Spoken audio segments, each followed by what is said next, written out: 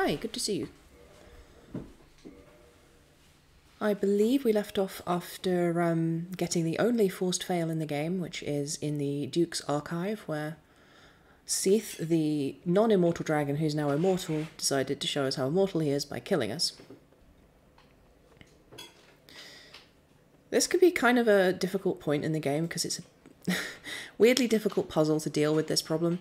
You see this guy over here? Um, he's incredibly weak. Every other Snake Man, incredibly tough, but they have to make sure that um, any player will be able to just kill him and get the key. Which is uh, tragic, frankly. Like, they're a reasonably tough fight, generally speaking. With this guy, nope. Just goes down like a pile of bricks. It's also kind of bizarre because I've just been watching Breaking Bad with my friend all day. So to suddenly be in the one part of the game that is full of nothing but crystals is a bit weird. These guys uh, are more of a threat than I thought because I'm out of practice at parrying. You're my friend? Astonishing. I mean, I could go back to calling you my flatmate if you like. You know, you could take that downgrade and live with it. Okay, let's try that again. Also, notice this guy does not respawn. Um, all of the snakes in this place respawn, but I think he spawns somewhere else once he's uh, been defeated in valiant combat. I'm just going to blast these guys until I get the skills back. The real risk with them is actually that shoulder thrust. It does a surprisingly large amount of damage and it's really hard to predict. Case in point. There we go. I definitely think it was a good idea to have switched over to the Velka's Rapier at this point. We've been using the basic sta uh, starting dagger that we had for the whole game. But um, the Rapier has multiple damage types and also has a nice bit of scaling so that we can get uh, strength, dexterity, and... Oh, by the way, time for a horrible noise.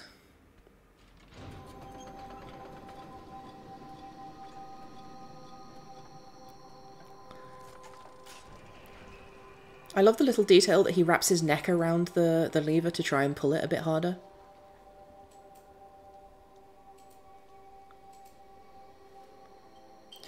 It sounds like the music that you hear in the background when you are in a temporary exhibit at a museum, which is like a, like an art museum. So these guys are actually running in fear from those entities called the Picasa. They're not very difficult to fight, um, but these guys are afraid of them, I guess. They'll climb up here, and then if they get to the top, they will be a nuisance later on when we try and come through here. So instead of just letting them get away with it, let's try and blast them down.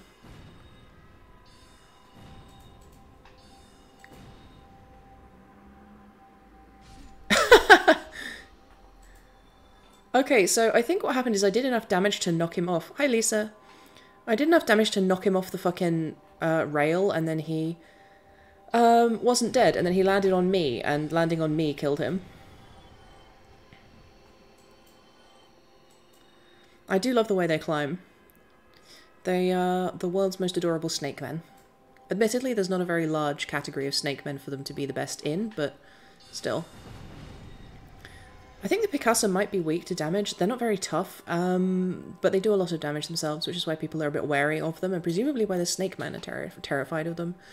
Either that, or they've never actually tested them in combat before, and it's a bit of a, I guess, trial by fire, by which I mean blue brain lasers. It is actually implied that um, these these things used to be uh, women who were abducted either by Seath or through some kind of um, one of the various weird religions in the settings sending sending them off here, and uh, Seath has been experimenting on them as part of his many varied and strange experiments that he's up to stuff about. What exactly he's trying to do is anyone's guess. Possibly he's trying to create um, more dragons of the weird kind of dragon that he is, because he doesn't have legs. Um, he is an entirely legless dragon. He's instead got three tentacles. As you can see, the Picasos have some tentacles, so perhaps he's trying to take snakes and women and create dragon.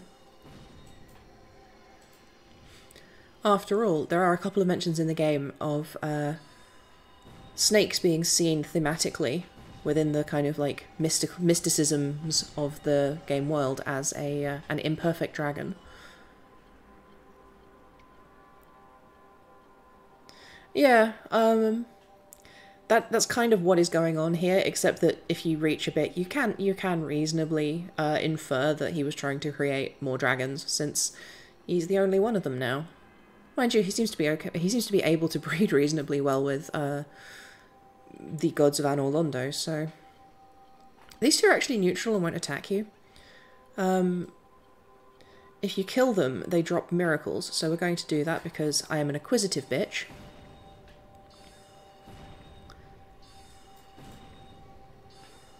Might as well not waste my magic, actually. I'm not sure if they become aggressive after you attack them. They seem to be just you running away.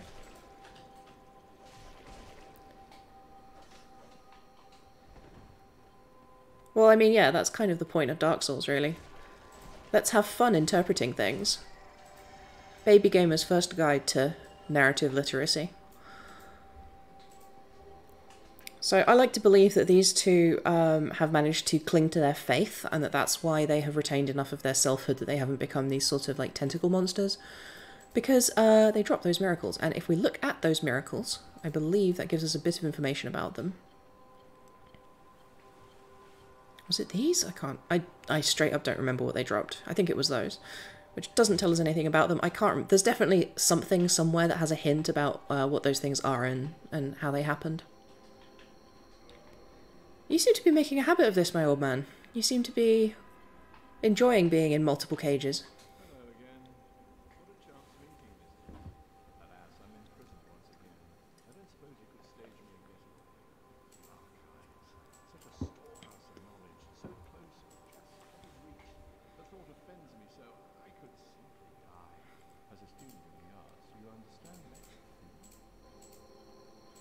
He doesn't uh, give you a choice. Normally they do. Normally he says, will you try and free me? And you can say yes or no. I guess that's just kind of the attitude of a stuffy old academician. Of course this person is going to... Yeah, no, I think that's... I think there's another connection about to who, whom they are and what their deal is, um, beyond just that one, but I can't remember what it is. Oops, he blocked it. Okay. This bit's actually kind of dangerous, because dealing with two of these guys at the same time can be difficult. And uh, having someone else throwing bolts at you is not easy. One of them, however, we can deal with easily. Oh my god, it survived.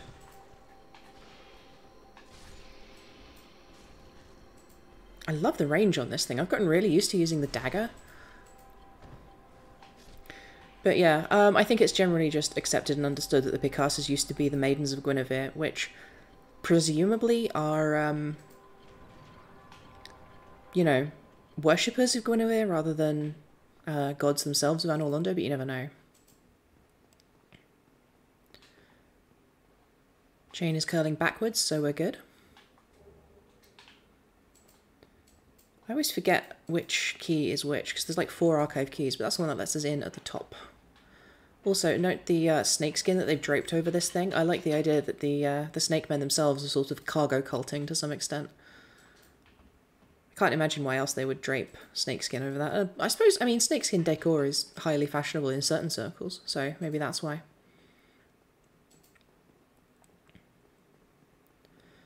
Now, as we work our way back up, there's a couple of useful things to grab hidden in some of these cells that we should be able to get think I might have lost, I think I might have missed a key somewhere, or uh, I just haven't got to where it is yet. Hi. It's not the politest response to someone letting you out of prison. Or I guess given all the crystals, maybe these guys are trapped in prison.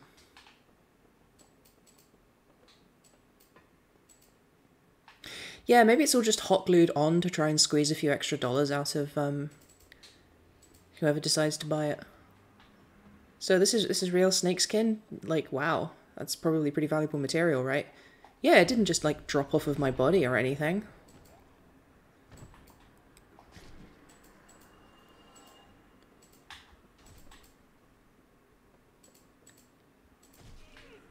You can't parry that shoulder charge, incidentally. That's why I was waiting for him to attack me in a way that I could parry. This guy is fighting smart rather than hard.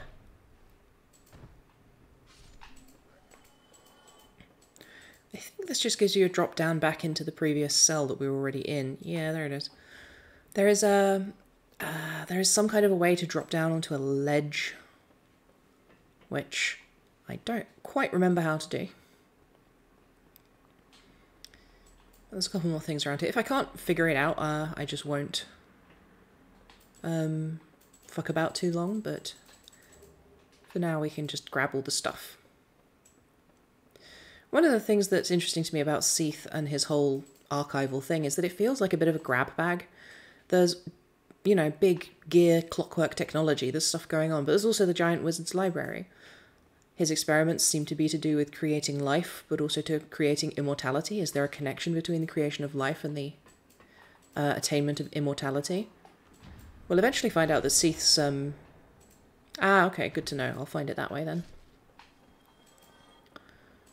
Um, Seath's immortality that he's gained since he was, in my opinion, probably the first dragon to be born uh, since the, the immortal everlasting dragons existed sort of naturally in the primordial time before time existed.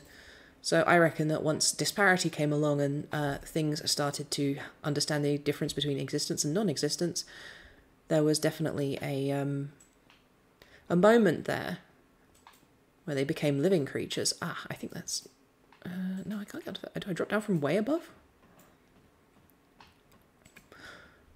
Well, there's definitely something in there anyway, which I can drop down to from up here. But yeah, so my personal belief is that much like Nito, First of the Dead, is literally the first person ever to have died, um, I think that Seath might be the first dragon ever to have been born after the coming of disparity. Fucking hell.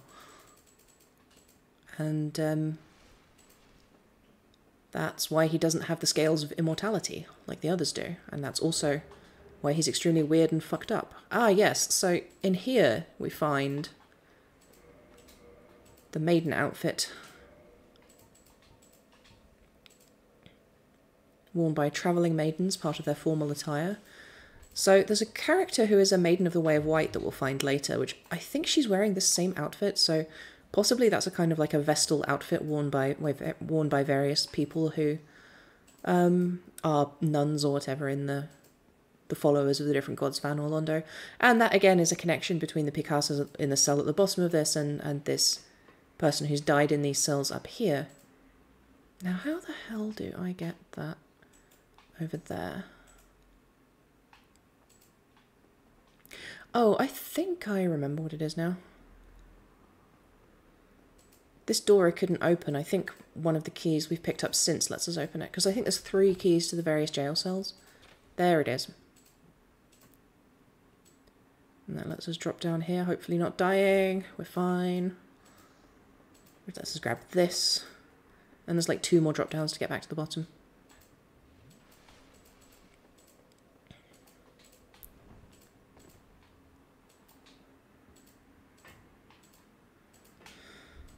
So the whole um, the Wizard Palace Ducal Archives is a really lush aesthetic. I personally really like it.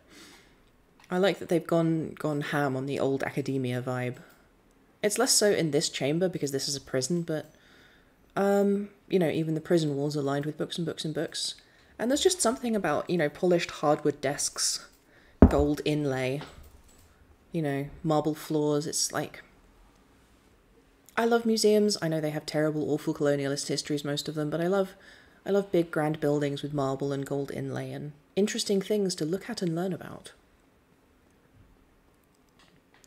Incidentally, for anyone currently listening who doesn't know, um, I've realised I never actually say this, I just tweet it and hope people realise. But um, I do these streams on Mondays, Wednesdays, and Fridays, 7pm UK time for about two hours. Um, you know, so put that in your diary if you like what I do.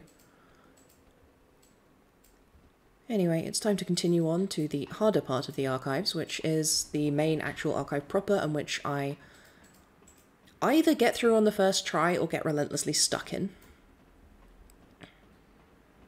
Oh, I'm sorry, I mispronounced. It's actually Ook. Considering we have a government that consists primarily of chimps that have somehow discovered how to learn, uh, how to wear suits. I had a whole thing. Basically, the UK government is absolute garbage, is what I'm getting at. Ow. We don't have a single politician who didn't get to where he is by just relentlessly throwing his shit.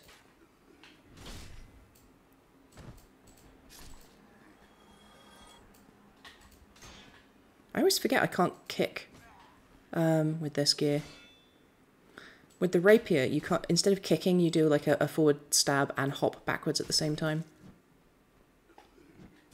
Yowza. Okay, let's not die. Dying is bad for our goals because it means that we cannot progress forwards and cannot achieve our business excellence.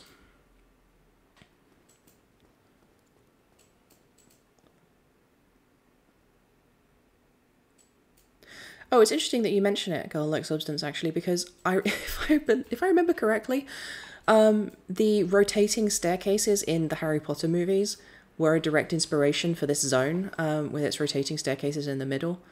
Um, unfortunately, we no longer go there, and um, the rest of the vibe is those kind of grand academic libraries from for realsies academia.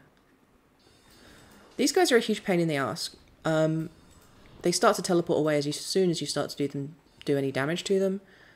I think they have a fixed chain of locations, but they also do an absolute shit ton of damage, so you've got to be really careful. If you can hit them twice, you can blast them out of existence, but um, if you can't hit them twice, you'll be in trouble. This is going to kill me!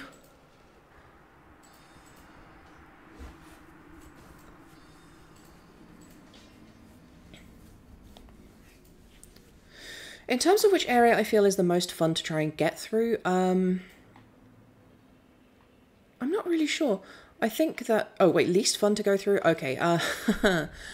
it might be the Duke's Archive, but I have a personal um, distaste for uh, the Tomb of Giants as well. Um, I think it's just really, really irritating. We should probably put a ring on.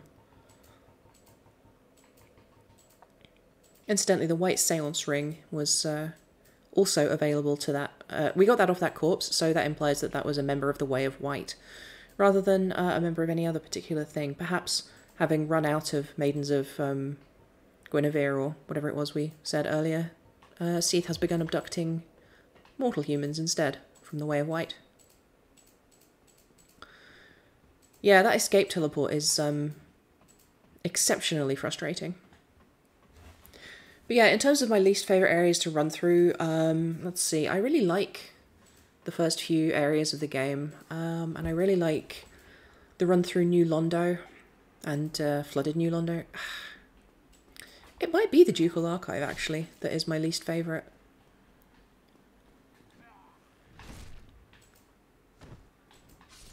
Got lucky with the uh, animation dodge there, which is what we love to see.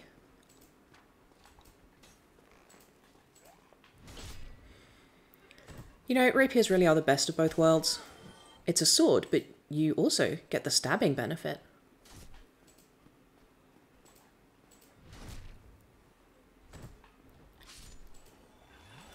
Oh, am I still wearing? I'm still wearing some of the dark set. I should probably actually, uh, no, the assassin set. I should probably actually find uh, a decent outfit to wear, considering we all love fashion souls. Now, if I do this, I should be able to get a strong hit on in, on in this guy before he escapes, and I pressed the wrong button. He'll be out of here by the time that hits him. Yeah, wasted a soul spear. And he's going to teleport in over there. I should be able to kill him, though. Yeah, do your stupid little dance. Oh my god, the dance made him dodge. So that was incredibly unlucky on my part. The animation of him dodging actually took him through uh, out of the space where my, my arrow was going. One of the amazing things about Dark Souls is that, hit, that the hitboxes are all incredibly carefully designed. Much like the animation where that uh, snake man wrapped his head around the lever he was uh, pulling, there's that attention to detail in almost every aspect of it. Every tiny piece of this game has that like desperate desire to be like logical and accurate. That's why things break into a ton of pieces that will eat your GPU memory as they scatter around and bounce all over the room. Um, in fact, things breaking into a silly number of pieces is, is a trend through all the Souls games. I love the scroll cases in Dark Souls 3 that break into about, literally about 400 individual pieces, um, completely unnecessarily. Yeah, that is true. I definitely have trouble shooting past pillars, but the, the hitboxes on characters are all really, really carefully aligned. So in this area, we can get up and down uh, these galleries. There's a couple of sides accessible on each on each side. A couple of, of heights, I guess, a couple of tiers. While you get shot at by archers and potentially stabbed by stabby guys. I believe that's the correct technical term. I mean, I've said this before, but arrows are just stabs from far away, so I guess all of these guys are stabby guys. That one's named Stabatha, that one was Stabthaniel. Looks like I can't get anywhere from up here, so we need to rotate the boards.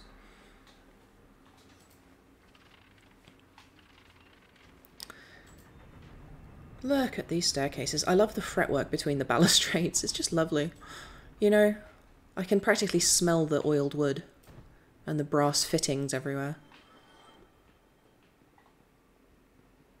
Think that there is a chest. Nope, it's on a different one of these. So there's, yeah, there's a couple of different layers that you can get up to via these. I believe there's three tiers that are reachable. And at the very bottom there, that's actually where we came in. That was the first hall that we got through on the ground floor. Then we went up that lift, and at the top of that lift, we got instantaneously bodied by a boss who was programmed to defeat us without even trying, which I think is unfair. With a bit of luck, I think there's another bonfire up here somewhere, and then there's a bonfire at the bottom as well, before the second zone, because I think all of the uh, all of the four major bosses that you can chase after at this stage of the game have um, two zones when you try to reach them. There is an outer zone and an inner zone. For Seath, his outer zone is definitely the archives, but the inner zone is the is the Duke's Forest and the weird crystal caves. I guess he has three zones, but the forest is very small. Uh, the game has a tutorial demon, and then it also has that demon come back as another boss later in the game a couple times. If that's what you mean. I don't think... Is there anything else up here? It's not an invisible wall, is it? No. Alright, I'm going to try and fight this guy. I say immediately before getting shot. I'm out of soul spears, that's a shame. If I fight him from down here, will he teleport away? No, he'll just shoot me in the head with blue lasers.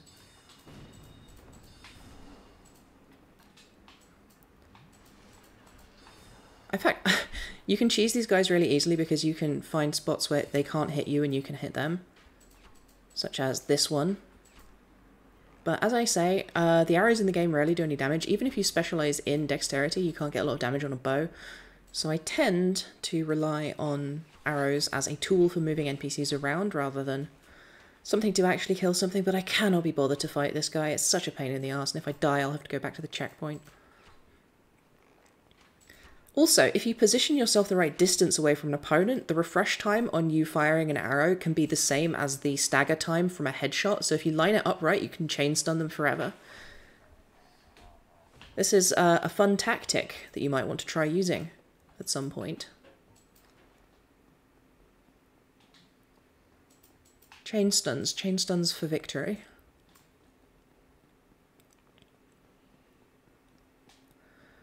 Now this, I think... Is this a normal chest? This is a normal chest. It's fine. It's not a problem yet. Strong Magic Shield would be great if we were using sorcery in our offhand, but Hang on a second. No, I think we can cast that in our main hand, but we don't really need the... Uh, we don't really need to cast it, so it's fine. We'll rely on not being hit.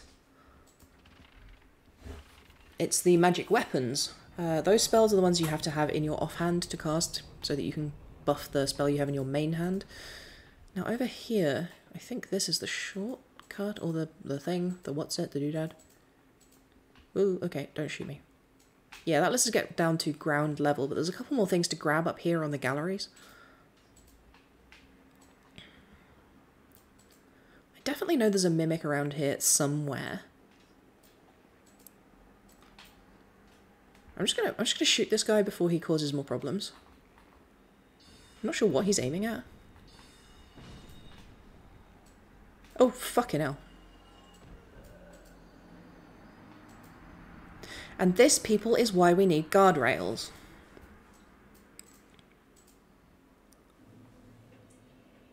You may or may not have noticed guardrails here, there's guardrails everywhere. There's guardrails up and down the edges of the galleries. Very safe place. It's one of the safest places in Dark Souls. You know, you can't throw yourself off these things if you want to. There's clearly been um, a proper LOSHA agent through here, you know, the Lordran Office of Health and Safety. But tragically, tragically, tragically, tragically, that side room's got jack shit.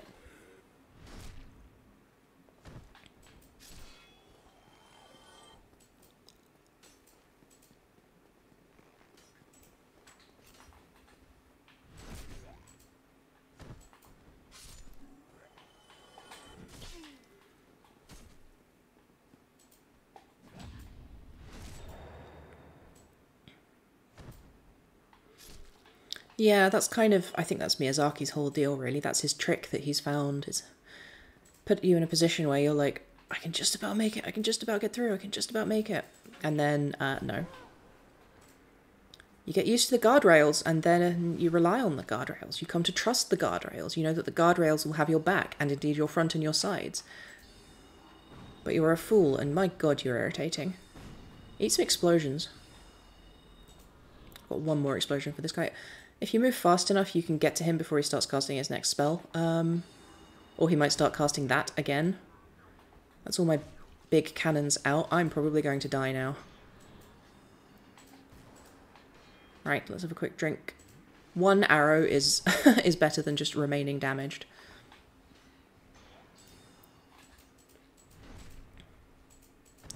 I love the extremely silly dance. I, I think it's very wiggly and entertaining.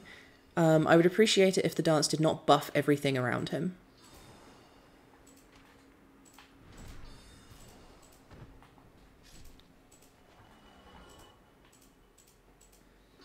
Thank God for these pillars. These are here for these here on purpose, actually. If you put together a few different item descriptions, um, oh, what the fuck? Well, that's what forty-five thousand souls and five humanity straight down the drain. God Almighty. I'm not I'm not sure what happened there. I didn't think he did that much damage. Uh, either they do that do that much damage and I was just wrong, and uh, hubris for yeah, that's what I thought. It, it did look like it was a double hit. God damn. Okay. So this is why I hate the archive. It's that guy specifically. Like everybody else in this zone I know how to deal with, and that one guy.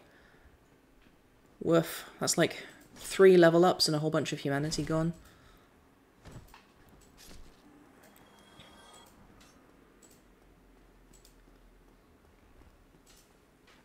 It does let you do the dance, which is only really useful if you have allies that you've summoned in, because I believe you can buff them with it, and it is a very strong buff.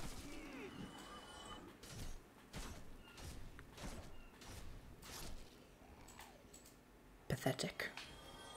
Well, anyway, let's just it's okay. It's okay. Let's just move on. Let's let's forget all about the 40,000 souls. Let's just keep going. It will be fine. It's all good. Eat explosions.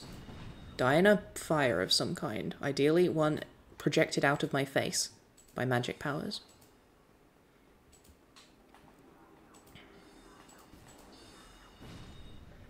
See? He ain't so tough.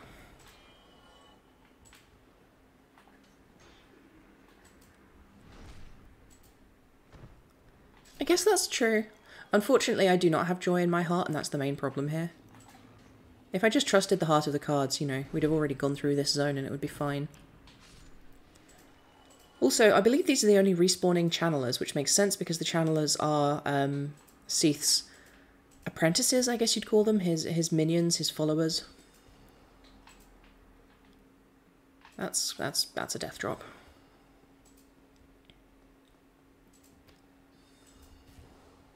So um yeah, so it makes sense that they, they respawn here because this is where there would be a lot of them. But um I think there's a bowman on that side, but I can just ignore him.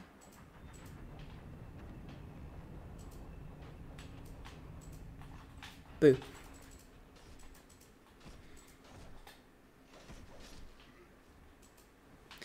Anyway, what the hell was I saying? Um, I had, I had this whole gag ready. I was going to talk about how if you put together the uh, the secrets from a few different item descriptions and something a character says, you can figure out that the students of the Ducal Archive used to have magic jewels in these corridors, and that's why they installed these pillars so that they had something to hide behind, so that the mortality rate for new students would go down a bit. But no, I just died instantaneously.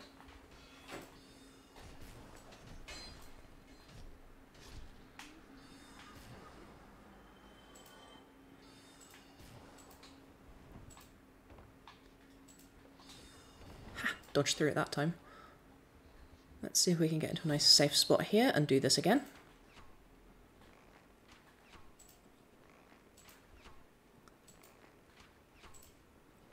I'm going to use my large number of magic wands to cast Expel Magic Wand at high velocity using stored elastic energy.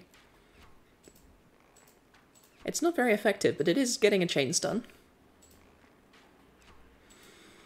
The main benefit of this is that it stops him doing his fucking uh, escape teleport, which means that I can just keep him trapped. If I ran up and stabbed him with my sword, um, he would not get the chain stun, and therefore he would not be stuck here. Love these floppy guys. Where are you going? Well, bye. The Dark Souls ragdolls are just a delight, a constant delight to me whenever you're going through the darkest of places, whenever you're really struggling, or whenever you're thinking about how you should just give up and you can't push on, the game's too hard, you don't have the skills. Think about those wiggly corpses. Think about how fun it'll be to, to kick them around and watch the wiggly corpses wiggle.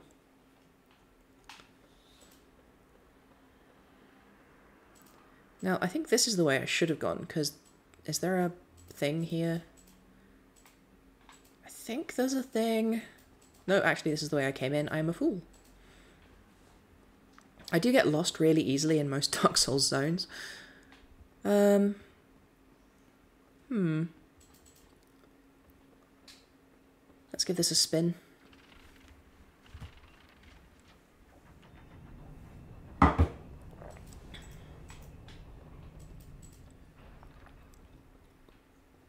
You having trouble too, buddy? Yeah.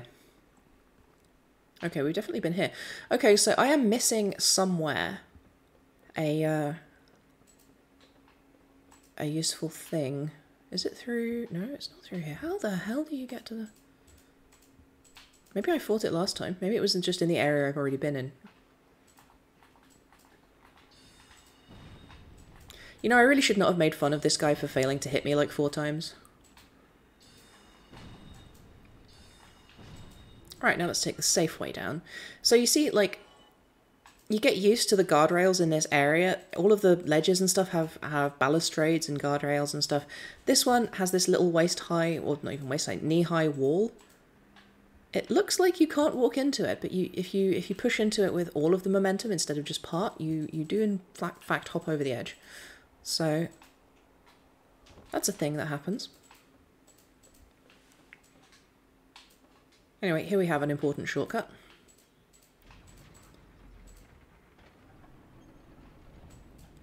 Everyone loves a moving uh, bookcase door. It is one of the fundamental desires of the human heart is to have a door that's part of a bookcase. It's actually a really nice pub where I live, which um, is themed around Dracula, of all things, which has uh, the bathroom doors are hidden behind a bookcase. It's um, fun, but also kind of a trap for drunk people. because you know when you're eight pints deep, you don't really want to be trying to figure out which bookcase is the one that has the secret door behind it that leads to the bathroom. In fact, I think the I think the staff literally prop it open um, at peak times for exactly that reason. What's in here? Love a bit of blue titanite.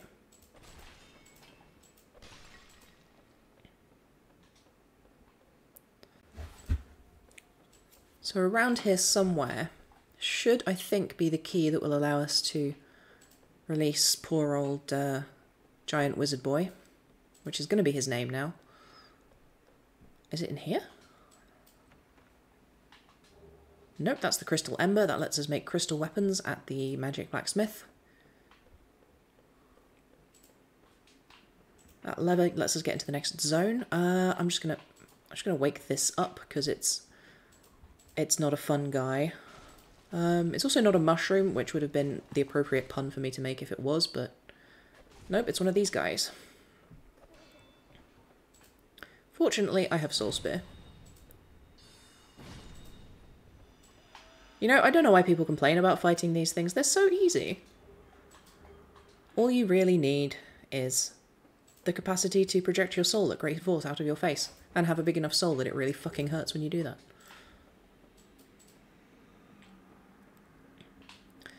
Okay, so I, I think we still don't have the key to go rescue him. Which is more of a problem for him than for us, but I would, you know, like to get the good sorceries. If we do rescue him, we will eventually get access to Crystal Soul Spear, which is one of the highest damage spells in the game. Crystal Soul Spear will just kill most things in one hit, um, and will knock, like, you know, an eighth of a boss's health off in one hit, so an extremely useful spell to have.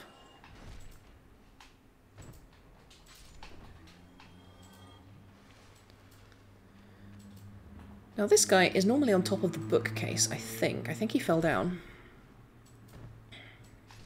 There's also a magic crossbow called uh, Avelyn or Eveline, which for some reason I'm always convinced is on is in here somehow, but isn't. That might be because it's in an archive in Dark Souls 3 and I am a fool. Oh, is it by the Crystal Caves? Well, we'll come back when I find it. So, yeah, we'll do that. But, like, I'm pretty sure that crossbow is in this game, but I cannot for the life of me remember how to find it. In fact, I think it was one of the only items I missed on my recent replay. Oh, it is in here. I always thought it was on top of one of the bookcases, but I apparently was incorrect in that uh, belief.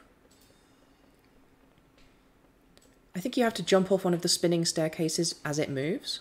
Am I right in that? Aha, I was correct. It was just the wrong room.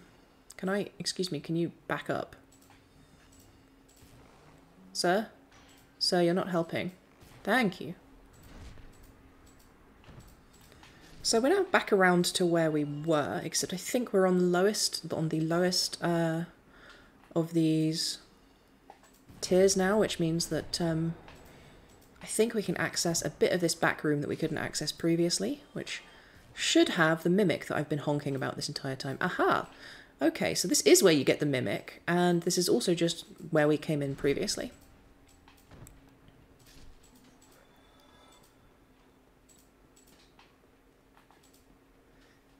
So before we lost to the boss in the forced fail, I never use crossbows. I've never seen the point of crossbows in this game, honestly.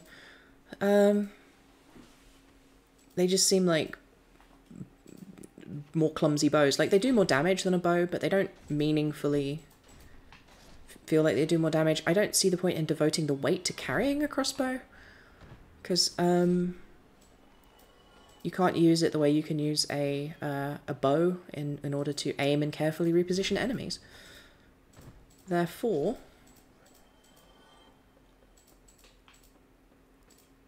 yeah, there it is, in that chest over there, you're right. Well, let's see if we can grab it then, since I have this obsession with getting every single item in every single Dark Souls.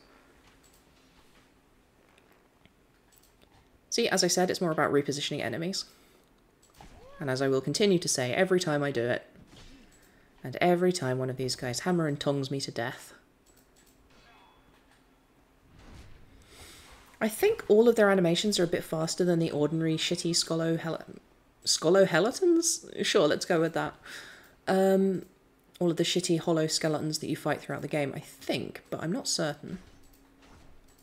Definitely that shoulder charge is something only they have, though. This is where the uh, Mimic was. I was remembering correctly. So I think we can actually call this uh, lift back down and go back up and have a look at the boss battle room with Seath, but right now there shouldn't be anything in it. Later on there will be some interesting things. Oh look. Oh, I wish I had a sniper rifle right now. I've got perfect sight on the back of his head.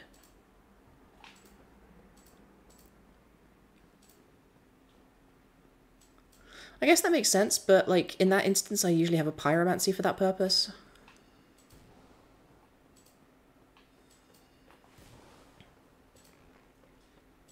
Does anyone remember if I unlocked the bonfire?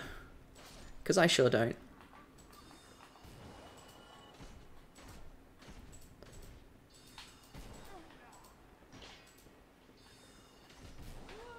Let's not die again in a stupid fashion. Mind you, most Dark Souls deaths are stupid.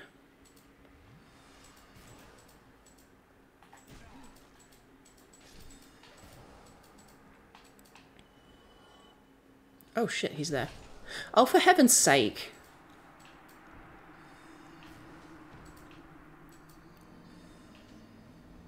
One day I will remember. One day I will remember not to let my hubris destroy me. I literally straight up forgot that the channelers respawn, even though seconds prior I had been looking at a respawned channeler. That's, that's how much trouble I apparently have.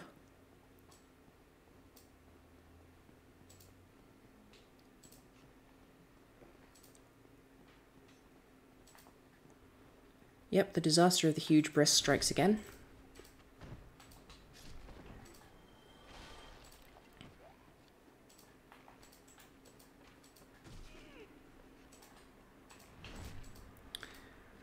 So we'll have one more try to get hold of the uh, big crossbow, and if I don't manage it, I'm going to give up, because makes for bad radio, especially if I start to get all tilty and complain about how this game is terrible and impossible to beat and nobody should ever play it because it's so difficult, which is completely the opposite of my usual refrain.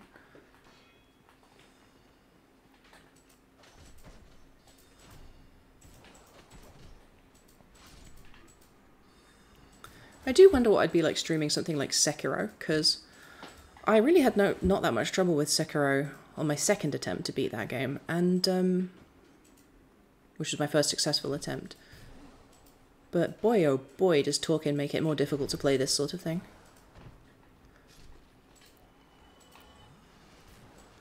So he's up there. I need to get to the second story, right? Which is not accessible from this side. Yeah, I need to go I need to go up and then back around.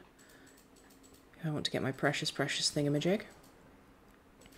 Mind you, with that channeler having his back to me, I think I can just get the fuck through here and not have a problem. Unless I get killed again.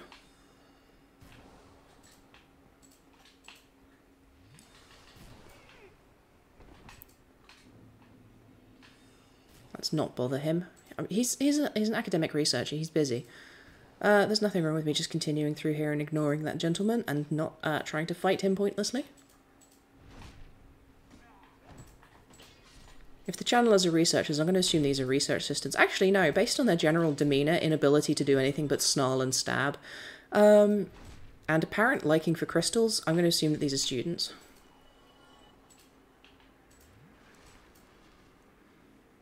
Get dunked on, students. Yeah, so the real difficulty here is timing this right. Um,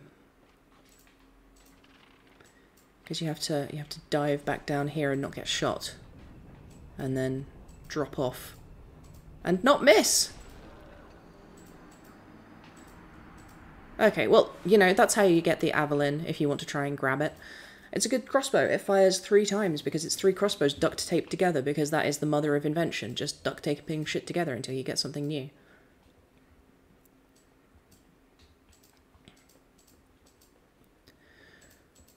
So let's go on with the actual route of the game, which is to come back over here, do this.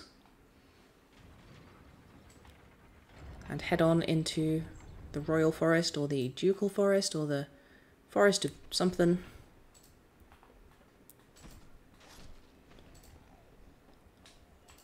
What's in this? I can never remember what's in all the different chests. Prism stones, those will come in handy. And, wait, really? I fell for it, god damn. There's also kind of there's all of these gears and, and rusty iron contraptions. So there's and there's no real explanation as to what's up with that. the ruined apparatus in the prison hall is implied to be something for something. But, um... Wait, what? Huh? What hidden rooms? Did I miss hidden rooms? Have I missed illusory chambers?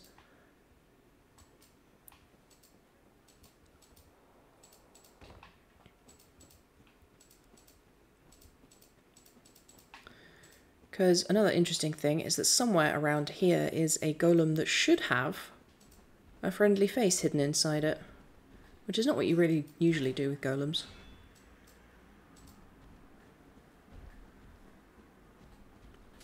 I think last time I played through this I needed to look up where his key was.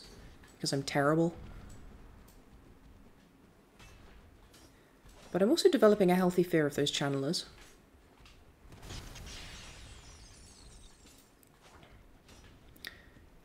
Tell you what, why don't you be an extremely useful part of the team and look it up for me?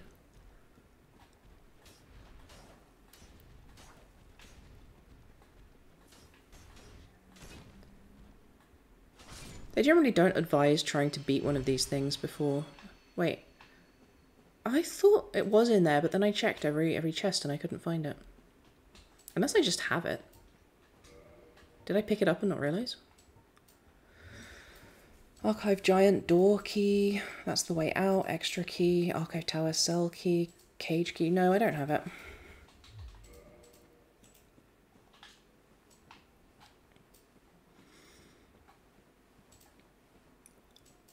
I think I'm going to keep this hat on no matter what else I do. Also, I've never noticed this before, but that is the Velt crown of the... Or, it's not a crown. This guy. Uh, the Pardoner's hat.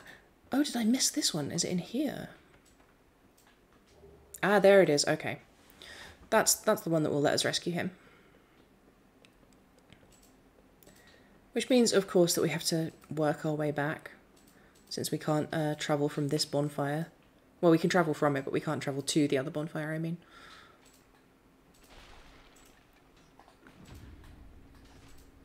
Oh, I hate it when you're not quite aligned correctly to get your parry. That's a shame.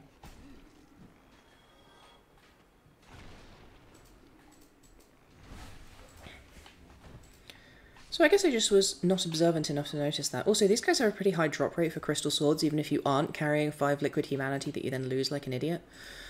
Um, so when you get through this area, you tend to end up with like 4 or 5 spare crystal swords that you don't need.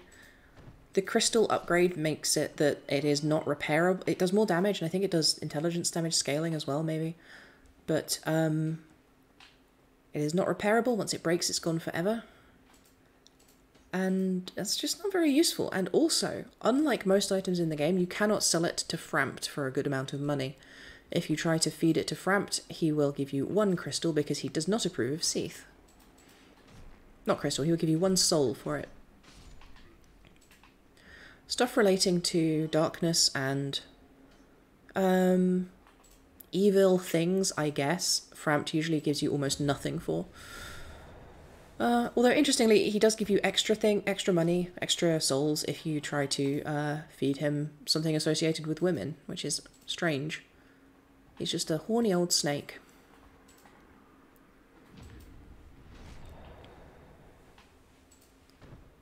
This is not the right way. I can probably get away with just sprinting past the channeler up here blast him in the back of the head with a soul spear. As a nice little surprise. Like a bully running past someone in a high school hallway. I might kill this guy just so that he doesn't shoot me in the back of the head. The irony!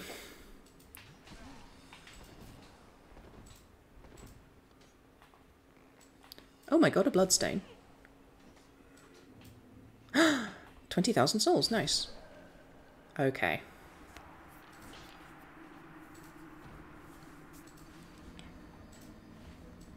You make Frampt sound like a complete incel, which I kind of believe. I kind of buy that for him.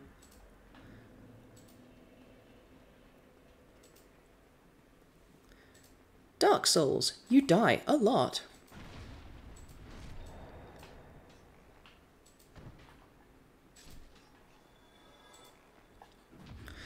If Frampt is an incel, does that mean that Kaathe fucks? Maybe Kaathe's into BDSM. He's right at the other end of the spectrum.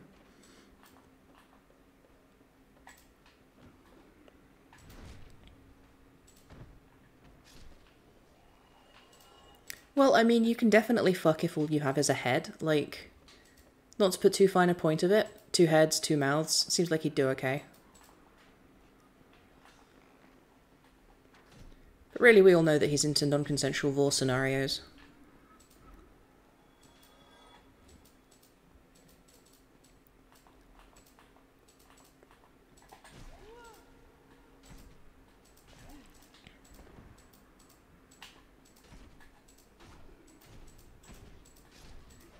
Oh, come on, you know what I'm like.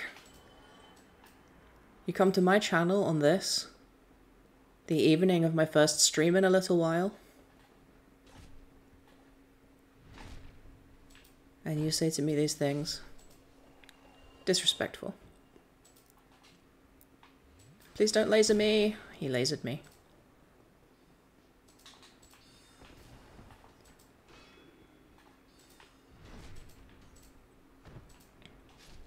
Time to waste some healing juice because we don't have much of a choice. Is he still going to be shooting arrows? What is the range on those things? They definitely have a lot more range on their sorceries than I do.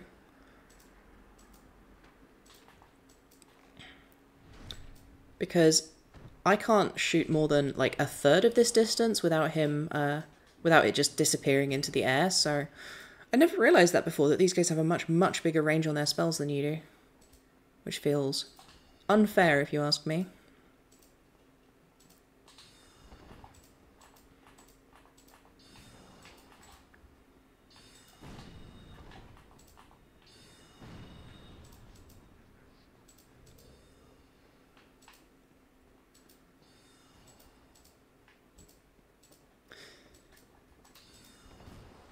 Completely buy that, but the question is, is Kaathe the dom or does he like, uh, does he enjoy getting tied up? He's a snake. Maybe he gets tied into knots. Maybe that's his whole deal.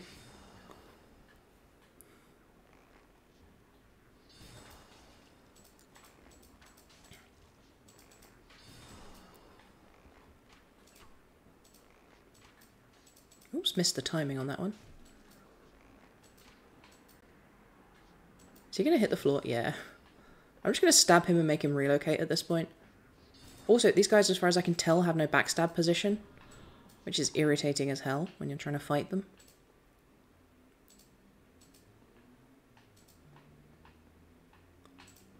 Yeah, the Dark Wraiths are just like, you're, you're literally our boss. Like, we're not comfortable with that. What the hell am I even doing? I've literally forgotten why I'm here. Oh shit, it's that guy. Uh, I'm gonna ignore my souls and try and find my way back to um, that doorway over there that is behind him. Ow. I probably should have equipped the um, crest shield, which would have given me magic resistance.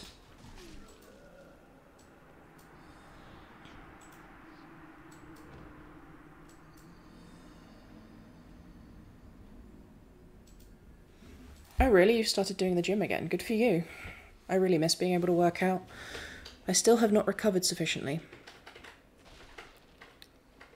Also, if you're responding to something someone else is saying, I cannot see what they have said, so I don't know if that's like... Are they banned on my channel? Is that a thing? Or is that just half a conversation I'm seeing? I'm just... I'm just gonna go. I'm just gonna run. Ah, okay, I see. Oh, I missed a message. That makes sense. Enjoy your nap, enjoy your sleep, enjoy your dinner, enjoy... Uh, everything.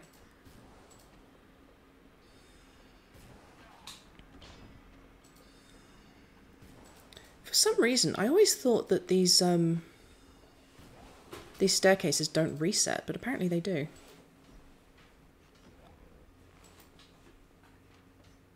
I'm just going to lead a train of these guys through the archives like a fucking conga line. For any, yeah, so, yeah, that's what I'm trying to do. I have to get back up to the top tier of these, I think.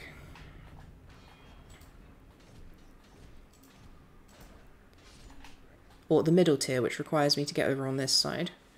Um, and then drop down, I think. But I don't know if anyone's... Wait, I went past it? Oh no. Oh, the guy was in front of it. I'm stupid. It's down there, isn't it? Yeah.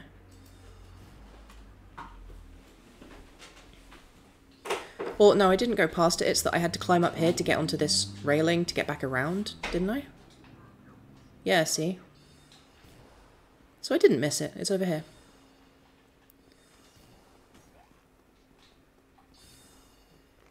Bye, so long. Don't be a problem.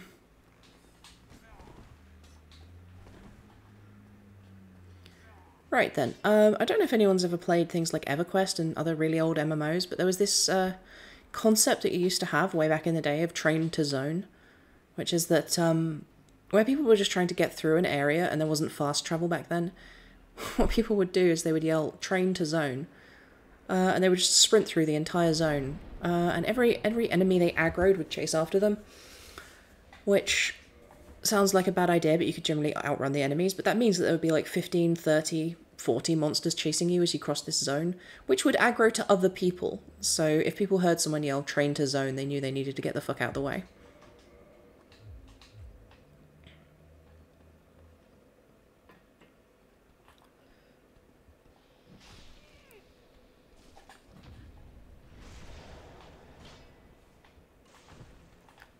Well, snakes for the memories, I guess. Oh shit, that guy survived. Straight up thought I killed him. How many? He's got like two hit points left.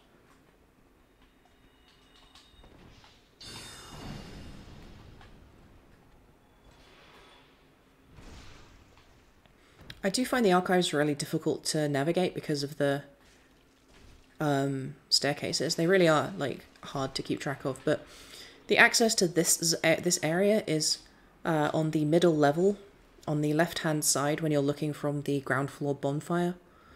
But to reach that, you have to go up and then down again, uh, unless you've already rotated the staircases. It can be a pain in the ass. So that's another reason why I don't like the Duke's Archive very much. And that's one reason we're tackling it first. I really enjoy New Londo. We'll have fun there. Um, contrary to a lot of opinions, I actually really like Izalith and the Demon Ruins. I think those are a fun area, even if they are somewhat badly designed and extremely strange. Um, oh yeah, you may have noticed all the Pisacas respawn. But I don't think they're aggressive unless the music is on. Or I guess they're a lot less aggressive if the music isn't on. I assume this thing is coming to fight me. No, I'm not interested in a hug, thank you. Oh, they have a big hitbox on those attacks. This is actually a really good soul farming location, one of the five or six in the game. But uh, we're just going to blast our way through. This is one of the few times it's, well, not the few times. Generally, pyromancy is great, and one of the reasons why it's great is that in situations like this, you can just kill all of these with a couple of huge fireballs. You don't have to dick about shooting them all individually. Bed of Chaos is really easy if you just remember where you need to go and what you need to do. So not to be all get good, but like, have you tried getting good?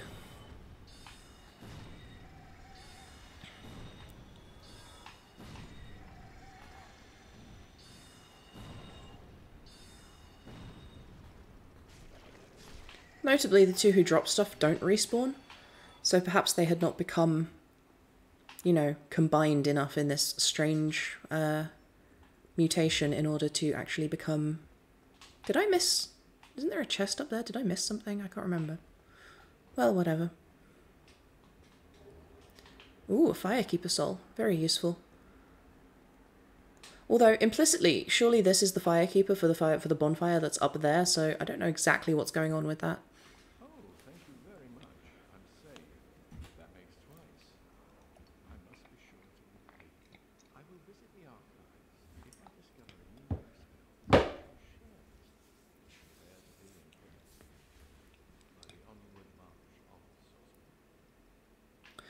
So this is kind of the last gasp for him as a guy with a brain that makes sense.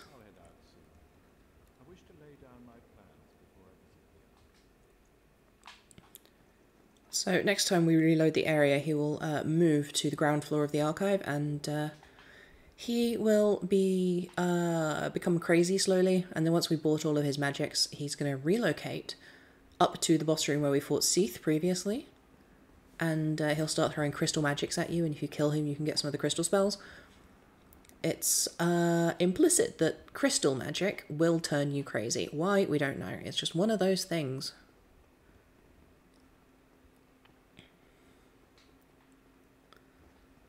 Yeah, that's fair. I mean, I don't criticize anyone for not being good at any one aspect of this game. Like, there's a bunch of different stuff that you can be good at or bad at in a, in a game, and especially this game.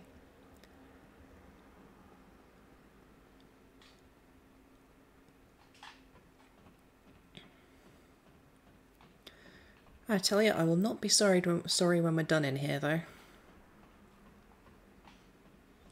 Also, I do find myself wondering, like, does Seath read these?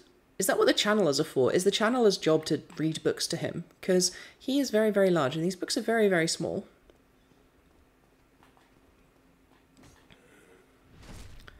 It does seem like your um your obsession is what stops you from going hollow. Your obsession is what keeps you human and and lets you stop you know, maintain your existence and stop and not die and stuff. But uh, it also seems like your obsession is also the cause of your downfall. There's this interesting pairing in Dark Souls thematically where you have these things that are ultimately what stop you from losing despair, or from gaining despair and from losing your mind and stuff. But then ultimately, if you become too obsessed, will take you too far, and that's not good. I don't actually need to kill him. Ah! I missed. He's really hard to target, weirdly. Yowza.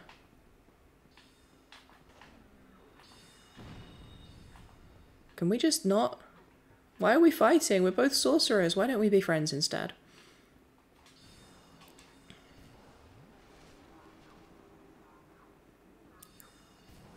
I love that dance so much, but I hate the guys.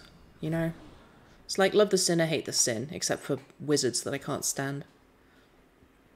I don't have to deal with you anymore because I made you reposition. That's the real trick of Dark Souls, is learning how to make things reposition. So, now that we've got the uh, side door opened, we can just run down the staircases and we don't need to fuck about. Which is the other secret of Dark Souls, learning what you can and cannot uh, refer to as fucking about and dispose of.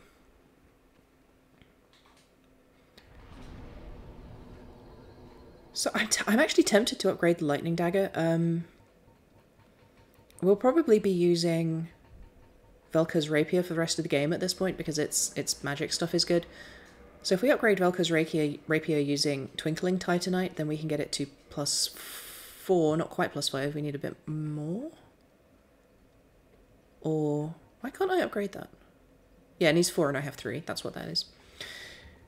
But the reason why I want to upgrade our lightning weapon is that we are about to go fight a dragon, and generally speaking, dragons don't like lightning. So we don't have enough chunks to level it up anymore, but it'll still come in handy. I might drop some uh, Blessed Science on this bonfire and upgrade it a little bit as well, but let's go see if we can talk to the Mushroom Man.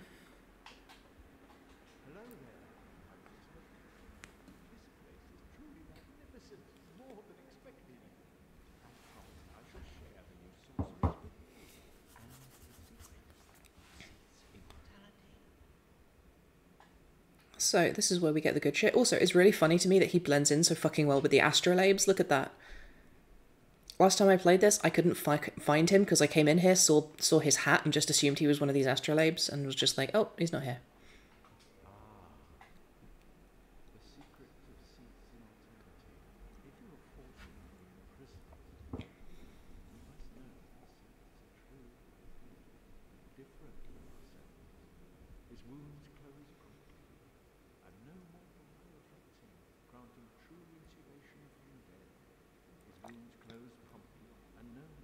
Did he just repeat that line?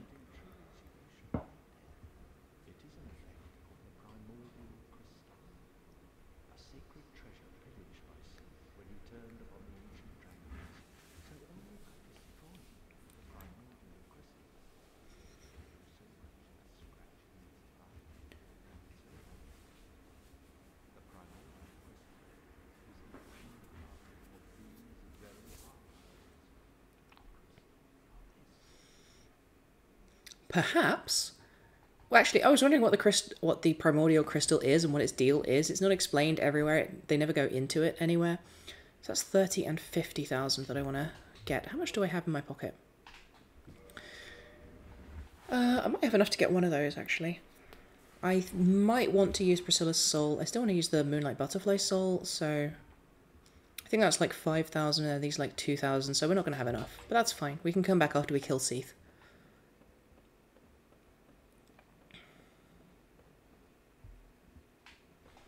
Oh, do you think so? Let's have a look. Helm of the Channelers, sorcerers that serve Seath the Scaleless, which is a hard sentence to say if you keep saying sibilants.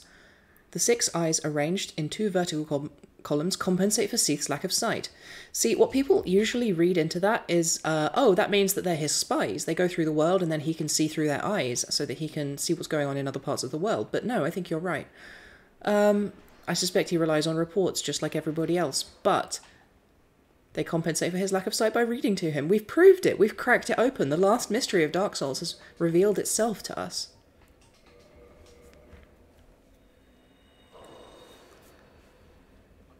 Hashtag problem solved.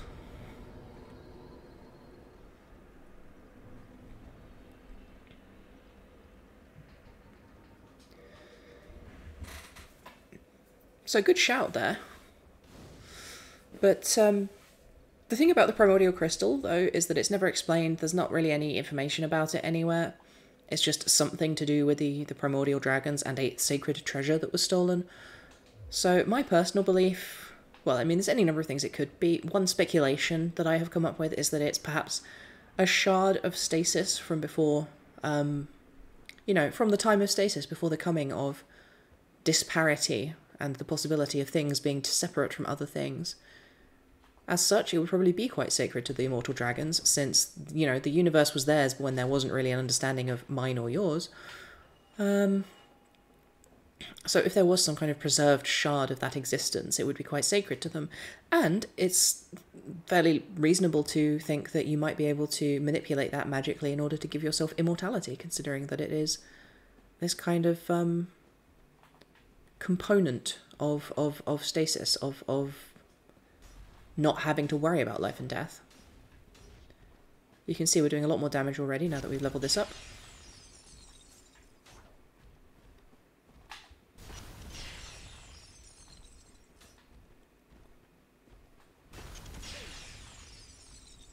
I think it's mentioned in a couple places that he's blind. He's kind of, I think, referred to as being deformed in some ways, which is not exactly uh, the ideally the ideal non-ableist woke language, but um, he is. I mean, he does have tentacles for legs instead of leggy legs like most dragons have. But I don't know what Eula is. Um,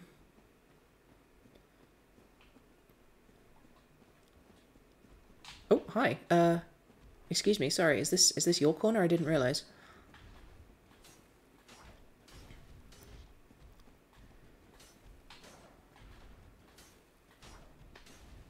Feel like I'm just gently tapping these guys with a stick. Tick, tick, tick, tick, tick.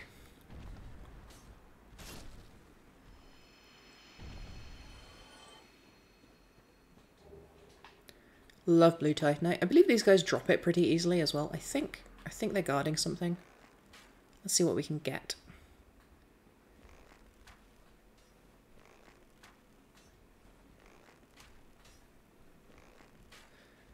Ah, I see. Well, I'm sure there's very many uh, famous blind scientists. Something about scientists makes me think that, like, that must be a common scenario.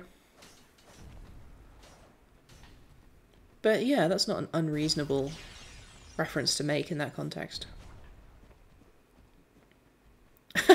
yeah, exactly. Reblog if you think that the girl on the right is just as immortal as the girl on the left. And then Seath is just seething off in the corner. A pun I can't believe I've never made before. Well, I think someone else might have made one on the last stream, so... Oh yeah, those giant crystals on their shoulders aren't part of their hitbox, so if you miss and the arrow just goes straight through the crystal, they will uh, not react as if they've been hit. They just react to the noise of it hitting the wall.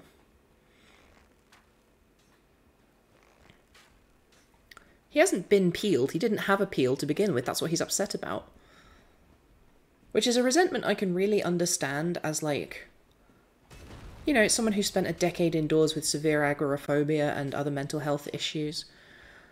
Um, I've kind of watched other people have lives and been like, how come you get to go do this stuff and have fun and be people? So I completely understand the resentment of a dragon, you know, one of the dragons of immortal scales being born without his immortal scales and therefore having to dealing with immortality. Like, frankly, I in his position, I would have betrayed the dragons too.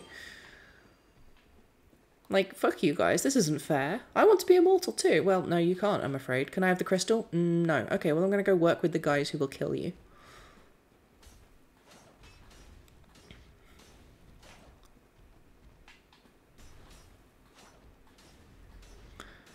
The weird thing about that decade of agoraphobia is like, I started making Let's Plays halfway through it, and then I just went on hiatus for like five years, and I really wish I kept going then, because I might have a decent, like, sized audience by now if I had, but, uh, it's back to, um, trying to build it up from level one, I guess. Now, I don't see... I know what it is.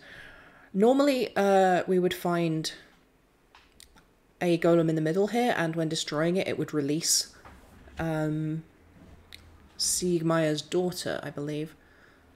Uh, which would then be the next step of his quest, but that's the step that appears after we go save him in Blight Town, or the swamp below Blighttown, which we will do after we are done here, I guess.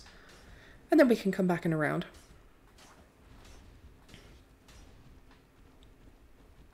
I do miss how much funnier I was back in the old, the old days. Um, I feel like I'm not mega on nowadays.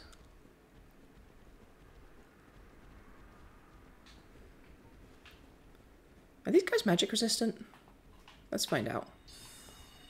Oh, I'd never even realised there was a Gravelord, Gravelord Servant. And yeah, they are pretty magic resistant considering that was like 160 instead of 500 damage that he just took.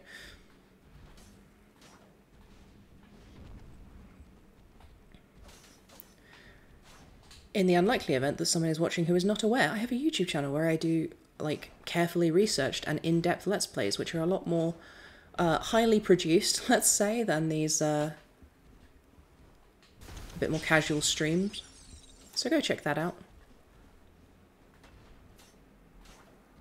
I'll tell you what was depressing though when I when I booted up my stream manager today and I just saw that the like several of the like most recent uh, follows I have here on Twitch have all like been cancelled out. Like it's just empty name slots because they were bots.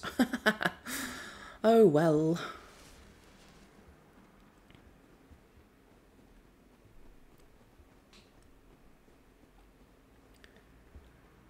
I don't... Why am I even fighting these things? They don't have anything. I don't need to fight any of these guys. So that's the Crystal Warrior that we fought immediately before fighting Seath the first time, which itself reminds me of something I've been meaning to point out, which is that Seath clearly has um, some kind of deep understanding of the metaphysics of this world and how to manipulate it to his benefits, because he's the only person smart enough to um, attempt to trap you with a bonfire in a cell. You know, the undead wake back up at bonfires. You wake back up, and uh, there's a bonfire right there, so of course you rest at the bonfire, and hey, guess what? That's where you respawn now. Sucks to be you. Which is, incidentally, exactly the same problem with the bonfire they added for Vamos late in the game. Um, unintentionally, but uh, the, on the only bonfire they add to the game is in that zone. And it is, well, if you rest there, you're trapped. Sucks to be you, I guess. Welcome to the antagonistic relationship between the game developer and the uh, game player.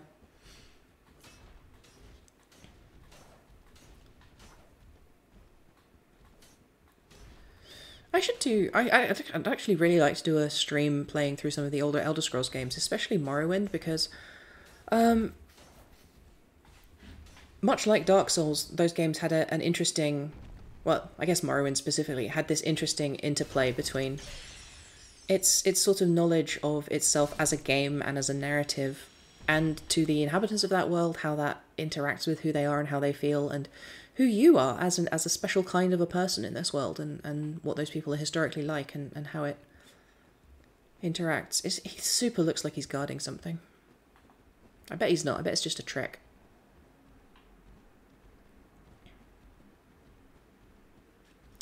The thing about Daggerfall is I've never actually played Daggerfall, just read a whole bunch about it.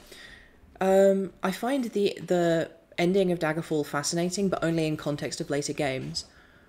Um, I don't know how interesting and weird Daggerfall itself is. Um, whereas Morrowind, I have played a whole bunch and I know exactly how weird it is, and I, I have a deep and lasting love for Morrowind. Unfortunately, Daggerfall was a little bit before my time, so I never built up the same knowledge base and the same love for it. Um, but uh, in case anyone is wondering, yeah, see, he wasn't guarding anything. What's the point of all these guys? But um, yeah, the ending of Daggerfall is essentially there's eight different ways the plot can go, and you can have eight different endings, which are all very different and all do not uh, tally with one another.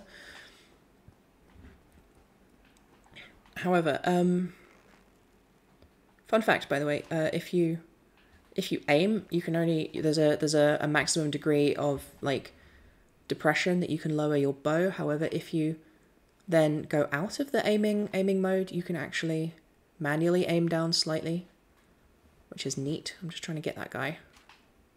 There we go. Is that enough to aggro him? Yeah. With a bit of luck, he'll jump off the edge, but he probably won't. Oh, that's good to hear. Um, I because I really, really enjoy Morrowind for a few different reasons. Um, one of which is incidentally to do with how it opens. Uh, in fact, when I started when I decided to add streaming to the stuff I do on top of my, my YouTube Let's Plays, um, my initial shortlist of games I, I was going to stream actually definitely has Morrowind on it. The main reason I was reluctant to is because it can be a really long game. But um, in terms of like open world RPGs, especially the Elder Scrolls style ones that I can just get lost in, Morrowind is, is really up there. It's it's one of these places I can just go and have an adventure um, and just get lost in it and play it for 100 hours and, and, and inhabit uh, an, the inner life of a fantasy character in a fantasy world, which is kind of my jam.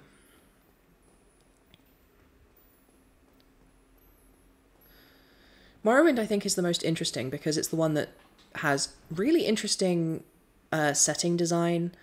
Um, there's a lot of inspiration from kind of like old, kind of like uh, what's the word? Is it like um, Vedic texts? The like the really old um, mystic, mystic, mystical religious texts from from India, I think, and a lot of these other influences that you don't often see a ton of, although it's become more popular nowadays. Um, I don't think I need to fight this thing, but I'm, I guess I'm gonna. I'm probably not going to use magic on Seath, so let's... 68, are you kidding me? Anyway, what the fuck was I talking about? Um, anyway, so it's got this really interesting um, kind of like mysticism to it and these ideas and this kind of like deep stuff. And like Dark Souls, uh, well, unlike Dark Souls, a lot of characters will tell you a lot of things. But the thing that um, Morrowind really does that I deeply love and that I respect that series for greatly is that everything you hear is just what one person says. Like, um, if you gain this piece of information, you have to factor in that a person told it to you, and that person may have an agenda or a reason, or they may be mistaken, or they may be lying, or any of these other reasons not to trust what, what you've heard. Um, I think my favorite example of that is that there's a couple of like history books you can find. There's a ton of in-game books that you can read, and a couple of them are are, are history uh, commentaries and stuff. And um, there's there's implied to be an ongoing battle essentially in in the pages of learned journals between uh, these two uh, historians who have their their competing theories of certain historical events, and there is this implication that that's just true everywhere, much like in real life. It all it all boils down to what people think at times, and what they think about stuff. But on top of that, it also has these sort of like meandering contemplations on divinity and and the nature of well the nature of divinity and um, how it exists in the world and what it's for and all of this stuff. Which were really interesting. Um, i won't i won't wax lyrical about it right now. Instead i would rather talk about the main reason i fall in love with that game which is that its opening does a special trick that none of the other, or at least none of the later um, Elder Scrolls games do, which is that it has this. Um, do you reckon I can get that and be safe? I'm not sure. I think that's just a big soul, so I'm not going to actually bother grabbing that item. Um, so the trick it pulls is that it um, it provides you with a little bit of, of background as to who you are and why you're there, but it, really basically nothing. All you know is that you are a prisoner who has been released from prison and transported to this far off province of an empire. You don't really know why you're there, you don't know why you're important, you don't know why you've been released from prison. And then um, you go into you know, you go into the, the immigration office and all of the all of the immigration and customs stuff is your character design so they ask you questions about your background and so on and the immigration and customs is how you design your character and that's cute and fun um, but the real trick is that they then say to you like okay part of the conditions for your release are that you will carry this package to this place and deliver it to this person. So you can go do that. Or you can not. You can just wander off. You can just go do something else.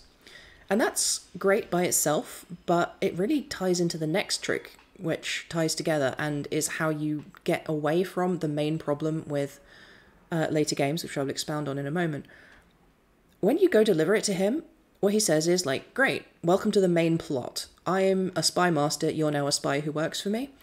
Your first job is to go establish yourself as a person in this society get a cover identity, join a guild, become an adventurer, maybe if you want to do that, or join the Wizards Guild and do wizard shit, or become a merchant. I don't care. Just go find a job and do it so that you have a, a cover identity. This is going to kill me if I'm not careful.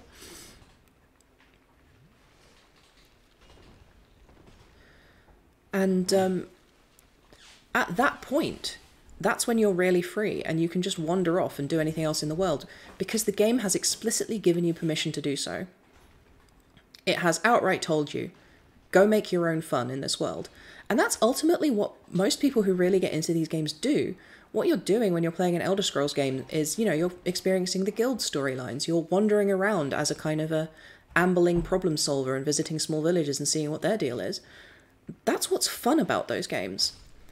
And the structure of the later games has completely forgotten that and has decided that what people really want is a cinematic plot with high stakes and dramatic tension and above all um, urgency and that's a huge mistake because that means that whenever you're playing through whenever you're playing through oblivion you have this constant thought in the back of your head like oh no oh no bad stuff is happening. I'm supposed to be stopping the bad stuff. Why am i why am i trying to solve the random curse of this random village in the middle of nowhere?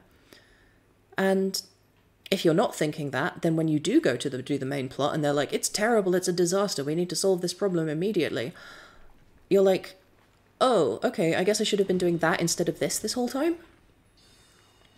And then it's far worse with Skyrim, which has this cinematic plot from minute one that draws you through and has this very urgent problem that people are constantly going, why aren't you solving this problem at you about? And that's so counter to what makes those games good. And it's worst of all in Fallout 4, where instead of letting you decide who you are and what your deal is and what you care about, they dictate for you who you are and what your deal is and why you care about anything. And then give you this urgent main plot because you gotta you gotta find your baby, gotta find your baby. What could be more urgent of a plot than that? It's it's a huge mistake and a huge misstep and a huge misunderstanding of what most people get out of those games. Um, and Morrowind was the last time they ever really, really went ham on understanding why those games are good and what people get out of them, and creating a very interesting world that was very weird and different to most fantasy settings of the time. And still is weird and different. It had very little of the um, kind of like generic medieval fantasy world stuff going on. It instead had this sort of bizarre place of mush of like mushroom wizards and people who live in the carved out shells of giant beetles, and a, a god who lives on a rock above a city uh, with the fascinatingly manipulative tactic of see, see how well this. Um, see how my people love me? Their love holds this rock in the air above their city. With, of course, the implication that if they ever stop loving him, through no fault of his own, it will drop on them. Like, it's so bizarre and so interesting. Uh, and I deeply, deeply love it. It's one of my favourite games of all time.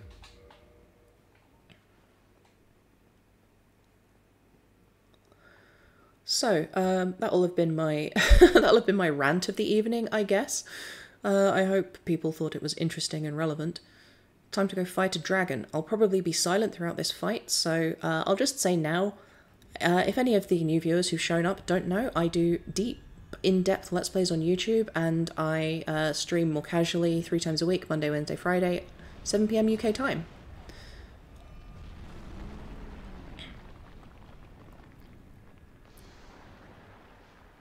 Ah, yeah, see, he doesn't have eyes, he has horns where his eyes should be. I think this is part of the whole thing about Seath having been some kind of, um... Not a mistake exactly, but like... I mean, I wouldn't frame it this way because I think that people should not talk about... Wait, hang on, what? Oh, that's the wrong way. So after the first attempt to fight him, uh, you spawn in the other side of the arena, I believe, and have to run past him to go smash this. This time what we needed to do is turn around and smash it. That's the thing that's making him immortal. When you smash it, he's stunned for a moment, which can be used for shenaniganery, but I'm not going to bother because I don't have the energy to make it work. Instead, we're just going to be careful and wail on him.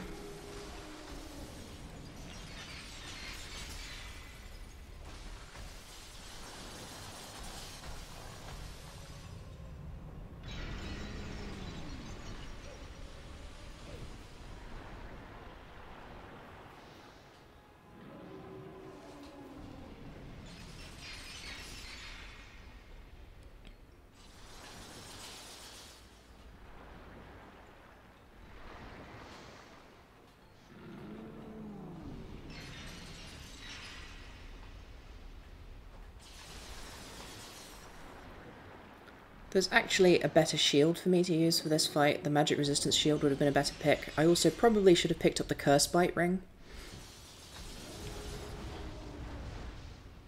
This may take me a few tries.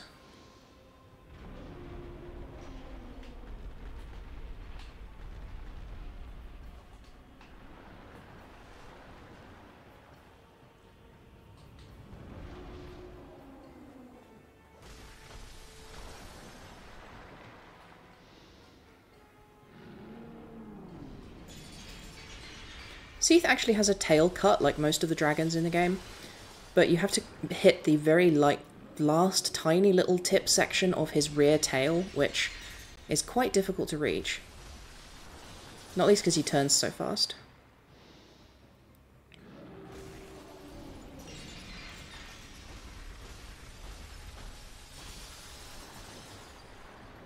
I might try Velka's Rapier next, but he does have uh, some magic resistance, so we won't do very much damage with that, but I'll be interested to see if it does more than this than this dagger. It should be doing lots of damage because it's lightning enchanted, but its base damage is quite low.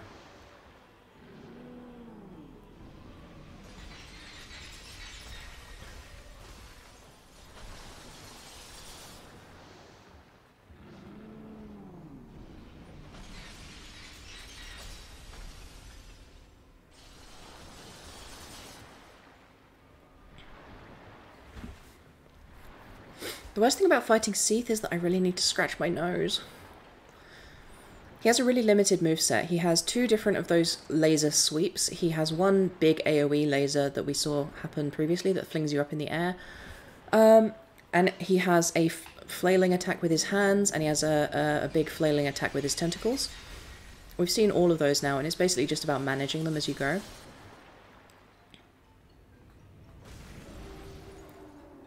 As long as you keep running to his like right or left tentacle, then you are generally just fine. It's mostly about the endurance, really.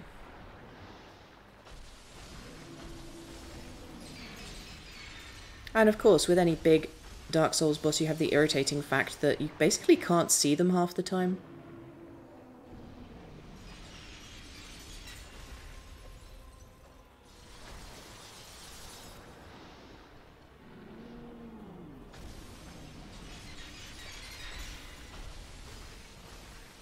I mean, you generally can't see them even when they do don't put crystals in your face.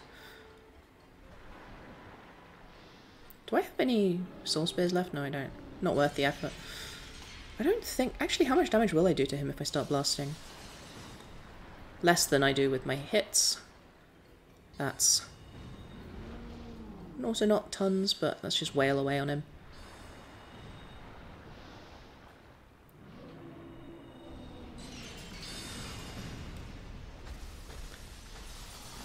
The two different... Oh shit, that's the big one. I think if I get behind him, I'm alright. Maybe not. Okay. The real danger with that one is that you'll die of curse, which we've talked about why is awful previously.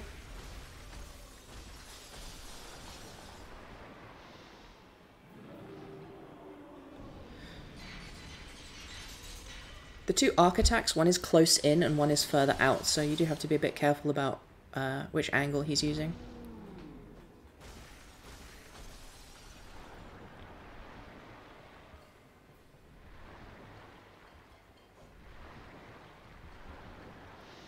The main reason we don't want to run into the centre and uh, wail on him is that even though most of his attacks will whiff, he'll be more likely to be provoked into doing the, the big central AoE, which is way more of a problem for us. This is bad. We're kind of stuck. So that could have gone better, but... Time to just keep chasing this slug boy around, I guess.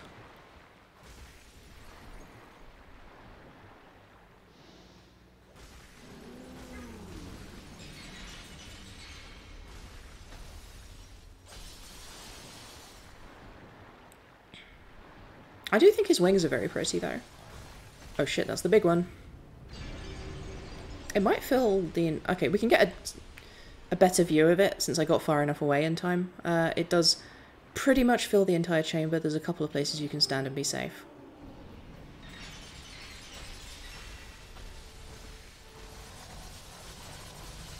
Oh shit, that's another one. Fuck. This time I did not escape.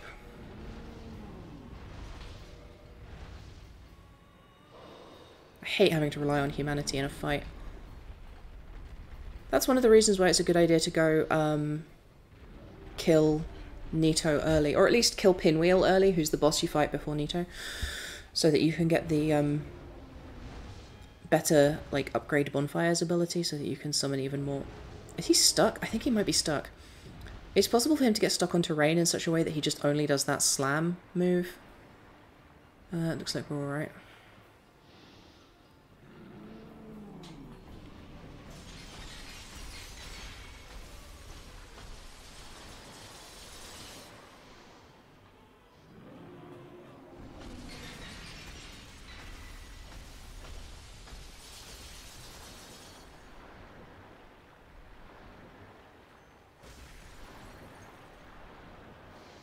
The main thing that I'm doing is I'm keeping an eye on his hands.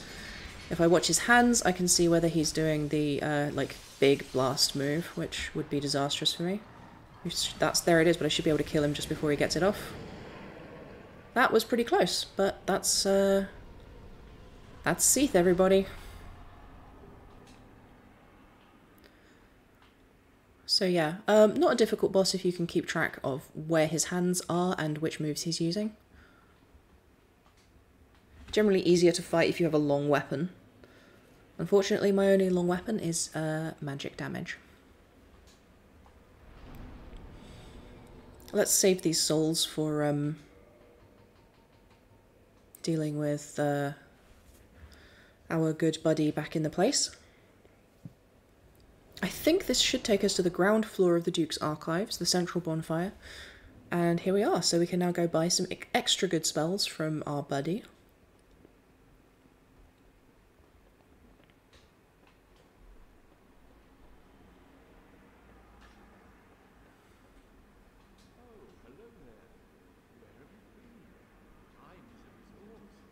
I guess that's true with the like vertical slices, but um, if you if you use the right move sets, it's not it's not mega difficult. It just depends on which weapons you pick. Love to get a Crystal Soul Spear, love to get home in Crystal Soul Mass. We do need to also buy a Crystal Magic Weapon though. I'm to see how many souls I can pop, just to see if I have enough. Because we don't get Seath's soul, uh, because he doesn't have one.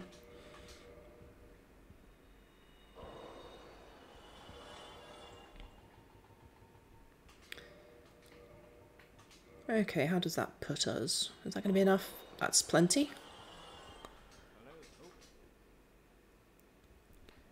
So once we've cleared him out, uh,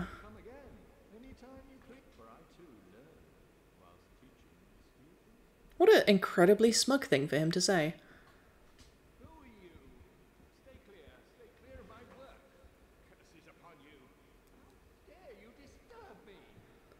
So the reason why his demand has changed so much is that they expect you to leave and come back in between buying all of his things, and um,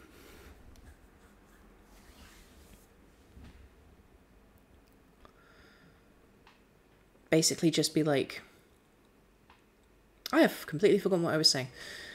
Not not that I am myself very much like Big Hat Logan, but I do strongly empathise with losing your mind. Um, there we go, Velka's rapier. Let's get back to that. But yeah, they expect you to have left at this point, and then when you come back, he's now being an asshole. And then the next time you uh, reload. Ah, yes, you see, that's sensible. However, I want to get uh, Crystal Dragon Breath, which you only get by letting him go hollow. Or, I guess, Crystal in his case. So, resting at Bonfire is usually enough to reload an area, but we might need to head back. Incidentally, the thing about the Oolacile set and the Oolacile Catalyst is that I don't like to go to Oolacile this early, uh, so I just don't have it yet. Um, but wearing wearing the Dusk Crown will, will definitely be uh, useful later when I want to boost my damage output for things like the Four Kings. Yeah, okay, he's still here. So um, when we come back, he should have disappeared, but I have to teleport somewhere else and teleport back. I want to take care of this now so that I don't have to come back to the archives later. Although, actually, no, I'm going to have to come back to the archives later anyway because I forgot to take care of our good buddy, the Onion Knight. So probably the fastest way to get to him is to jump to the Daughter of Chaos.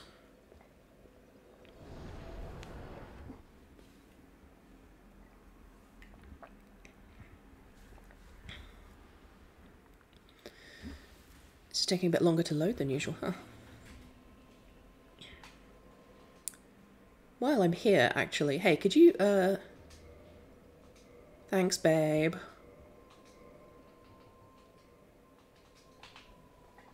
I wonder if Eingyi has anything new. I don't think he ever unlocks any any new things for you to buy, but he, he can always upgrade your uh, uh, your pyromancy flame, which is useful if that's the kind of thing you want to do. Which I do not, because I disdain pyromancy. Pyromancy is an art for yokels and oafs. I'm just kidding. However, it is amusing to me that there is a there is a stigma against pyromancy and in favour of whoa, I nearly fell down the hole. Um, and in favour of sorcery because sorcery is refined and pyromancy is very kind of like gushy and organic. What the hell? Why am I looking at the screen? Oh right, yeah, that I want to change this. Finally, we will get some use out of the rusted iron ring. It's only been what? Like 20 hours of gameplay that it would have been useful for that I didn't have it. Whatever. But yeah, in the past I used to not I used to not buy Logan's last couple of spells. I used to usually leave him with uh, the crystal weapon. And um, I the same with Laurentius and not telling him where we got the fancy pyromancies. The fancy pantsy pyromancy. I mean, yeah, the damage output is crazy.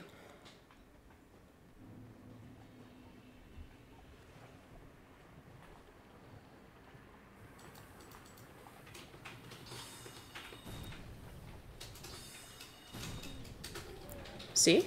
Sorcery wins again. Sorcery, 1 million, Flame Pyromancy, like 2. Well, I mean, Flame Pyromancy is all Pyromancy. I meant Chaos Pyromancy, but then I was also thinking of Flame Sorcery, which is a whole nother thing. It's a lot of magic in this game, guys. A lot of magic.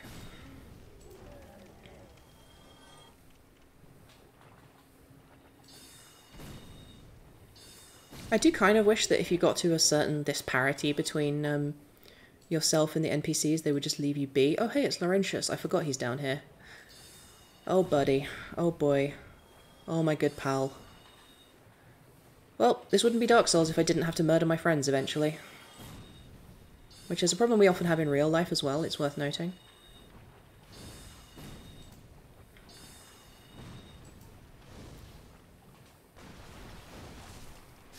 Well, that's all for him the toughest of opponents, I can see why he died in a swamp.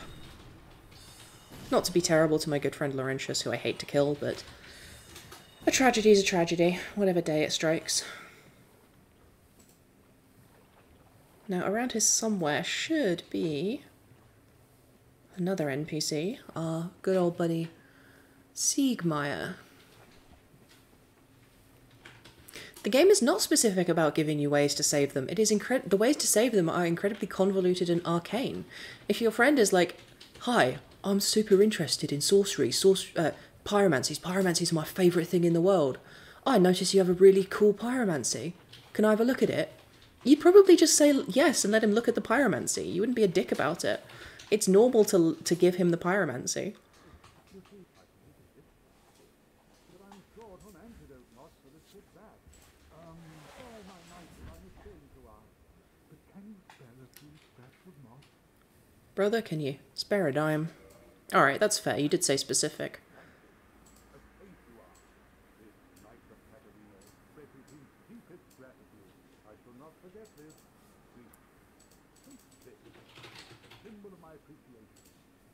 I will never get over the fact that helmeted NPCs talk muffled. This game is an absolute delight.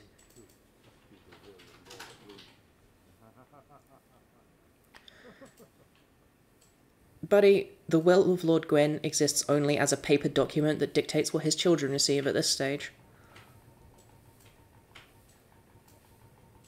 Where is... There we go. I'm so glad I bought all of that moss.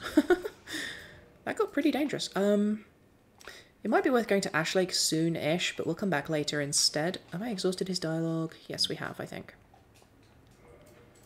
Which means that now, when we go back to deal with our friend, we can also uh, find Siegmeyer's daughter,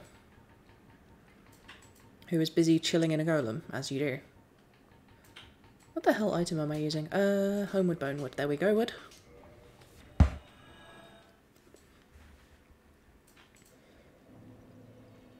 So let's just double check to make sure that our beloved professor that we've met twice is in fact here. Actually, one of the things I appreciate about Dark Souls is how quickly you grow to care about these characters. It happens very fast, even though you only ever have like three or four conversations with one person. It doesn't take long to be like, Laurentius, I would die for you. I mean, it happens in the first conversation with Laurentius, but you know, most of the others it happens with fairly quickly. Get the drop on this lad. Nope. I have to murder this guy so that no one will ever know I missed his parry. It's a good thing I don't have an audience of nine people watching me do this. Aha, there it is, the golden golem. So Seathawk kind of has this thing about hiding people in golems for some reason. It's it's just how he do. It's one of his hobbies, I guess. And um, usually it's people that are inconvenient to him in some way. But uh, for some reason, Siegmeyer's daughter has been trapped in one, so let's uh, let her out. The gold golems hit a lot harder and have a lot more physical resistance. Or I guess armor. Um, wowzers. So they are more difficult to fight, generally speaking. A chain of logic that I'm sure you'll agree is sensible. Oh fuck, that missed. Two soul spears is enough to stagger him, and actually I should probably equip soul crystal soul sorcery, although I might not have enough intelligence to use it yet. I think it's 40 and I have 36. Oh, balls, I've aggroed another one as well. Leave me alone! Oh god, a third one. Youch. We'll be okay, just gotta get up. And then we're fine. Well, well, well. Boy, oh boy. What a pickle. I'm tempted to get a drop attack on them, but that really won't do very much to them. Um, guess it's time for the long game.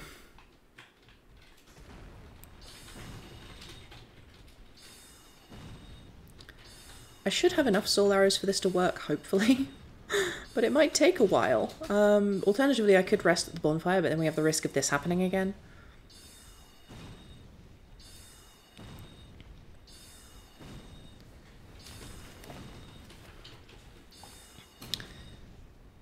Ah yes, commonly known as the murderer's alternative. I was first introduced to this context, uh, this concept when I was uh, a teenager playing Halo with a new friend I made at school. We went home and we played Halo and it was fun.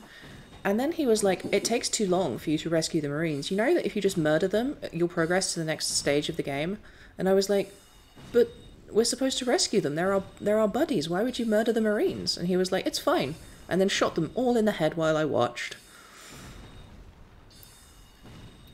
Which I found distasteful personally and vaguely emotionally scarring.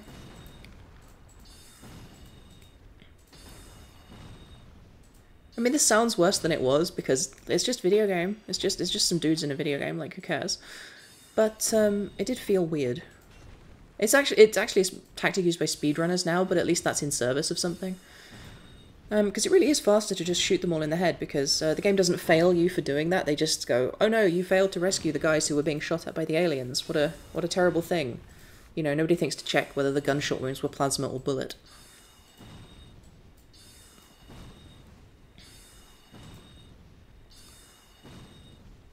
But yes, uh, just murdering NPCs is an option, and um, I genuinely can't remember if on this save file I um, decided to murder the Crestfallen Knight, because one of the things he tells you at the start of the game is basically this world is a sad and bad place, and sometimes people murder each other for resources, which is kind of a hint to you, the player, that if you want some humanity, you could murder this guy. Which I don't usually do because I don't like to attack uh, non-hostile NPCs. However, on this particular playthrough, I have been doing that occasionally. Uh, the only other the only other option really for me is that I usually murder um, Lautrec because just he kind of deserves to be murdered.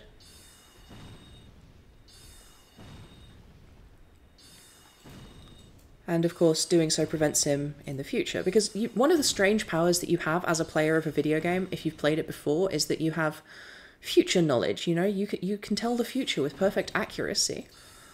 So unlike thought crime and future crime in real life, um, in video game, if you know someone's going to do a murder, you can murder them first, and then technically, technically you've saved a life. So I guess on average you've both um, killed and saved someone. So it's a it's a net net net zero. It works out fine.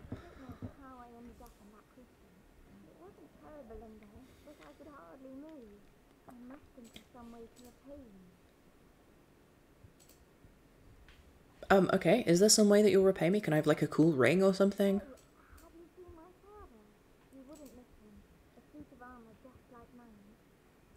Also, I'm not sure why this particular actress is doing the particular performance she is, but uh, she makes him she makes this character sound about 12 years old.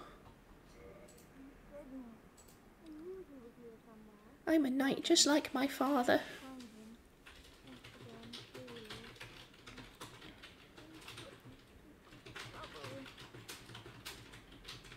Depending on what and how you kill an NPC, uh, sometimes you don't get the drops. I think it. I think there's a. I think if an NPC kills another NPC, you don't get drops. I think if and then there's certain parameters under which particular NPCs don't give you their items.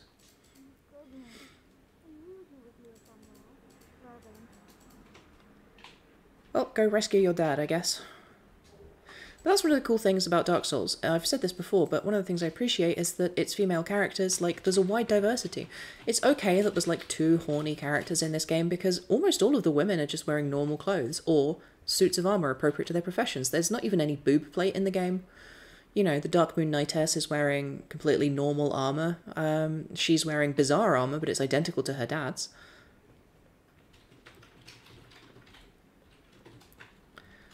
So that just leaves us with one more task to complete in this area, and then we never have to come back here ever again. Which is my preference, frankly. It's going to take a while before we can uh, get the next level of that. Oh, uh, let's see if I can equip it. I don't think I can, but let's find out. Attune magic. Um, Crystal Soul Spear, 44. No luck. However, we can do homing crystal soul mass, I'll swap out the whole soul mass for that. It is really useful in certain parts of the game to have a, an auto attack that will just blast whatever gets near to you. And uh, so if we're going to be doing that anyway, might as well pick the more uh, damaging option. Time for me to die a shitload of times again in this horrible place that I hate.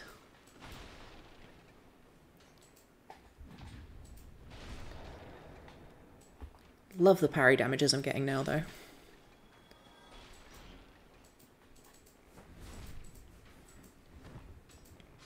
Think that guy's going to smash a table and then he never does. Right, so my best option is to sprint through here real quick and get around to the other side before I have to deal with any of the fucking wizards. Who inexplicably are still here despite the fact I killed their boss.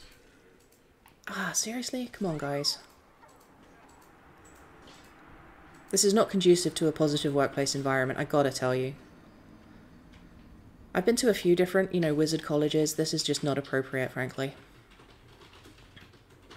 This is what is called a hostile campus situation. Which is quite similar to a hostile Krampus situation, but um, has subtle differences. Mainly the presence of hostile Krampus.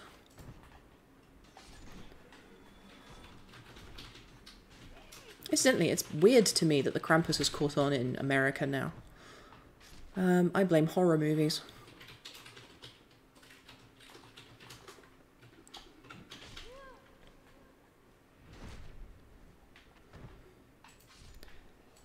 The main important thing is not to let him Krampus your style, though. Oh, a drop. Is it going to be another pointless crystal sword? Yes, it is.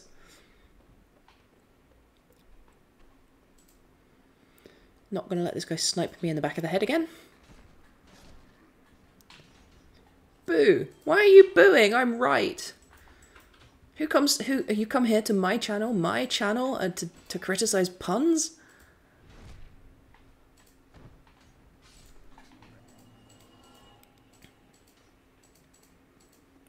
I'm going to assume that no one should click that link. Um, I am a little bit too hands tied with attempting to fight skeletons to figure out whether that's spam or not, but I'm going to assume it is, and therefore nobody click that link.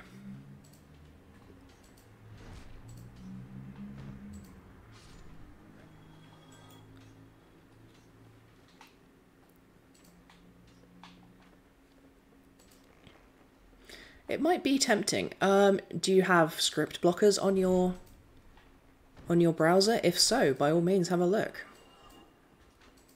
If not, um, welcome to having some kind of terrible virus on your computer, or indeed in your life, much like coronavirus.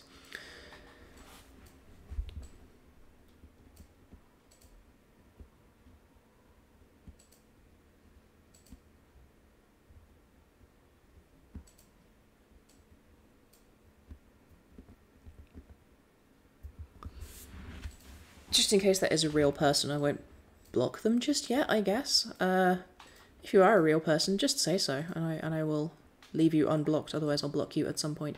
Is this where I need to? No, that's not. The, I need to go down here. Yes, that's correct.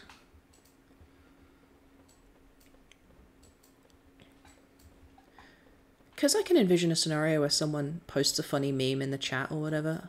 No reason to block someone over that. However, plenty of reasons to block people spamming in my chan which I, is right now what I've decided I'm going to start calling my channel. Ah, shit, no, I can't do that. That'll make it sound like it's like a, a 4chan clone. Nobody wants that.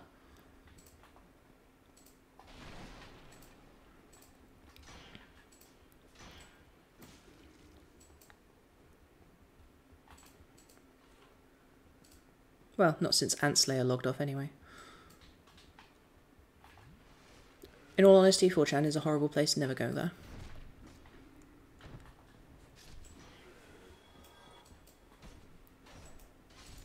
Poke, poke, poke. Right, now that I am freed from these horrible dipshits, let's, uh, wait, that's not where the lift is? How do, how do I get back up? Somewhere there should be a lever, I think, but where?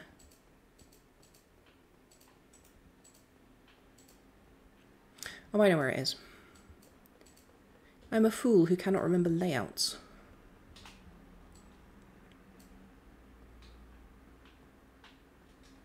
Cleverly hidden behind a pillar and multiple bloodstains. I wonder if there's bloodstains here because people stepped off and got crushed when it landed on them. Which is a mistake I can easily see people making. Let's actually we can just check. We can see this guy pulls the lever, and then he gets stabbed to death. Okay, I was wrong. My new uh, spin-off show, Dark Souls Columbo, will not in fact be uh, getting a second season. Oh, interesting. You can see my hair poking out from under this hat. You can't normally see that. Most of the most of the hats in the game cancel out your uh, your hair and you just have like blank a blank head underneath it. Uh, Soul Spear, this should be fine. I should be able to murder him without much trouble. It's just occurred to me you might have to go back and see that he's left before you come up here.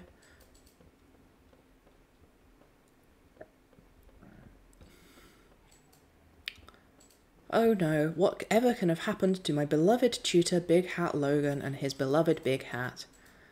Where could he be? Who who could this stranger with a big mace possibly be? Look at that chubby pasty butt. Wow, okay. Whoa, wowzers, okay. The main unfortunate thing here is that I didn't kill him with the first hit. Um, you know what they say, when you come at the king, you better not miss? Well, this guy might not wear a crown, but he definitely has headgear. Oh, interesting. This is the last bonfire I actually rested at. of course, I always forget that it's cut off from the others, because Seath can do that, apparently. His understanding of the mystic underpinnings of the world is so vast and great. I assume he has a firekeeper in a box around here somewhere, and that's why that fire, like, wasn't out. Mind you, we did find a firekeeper in a box down at the bottom. Perhaps that's just what he did with the old one.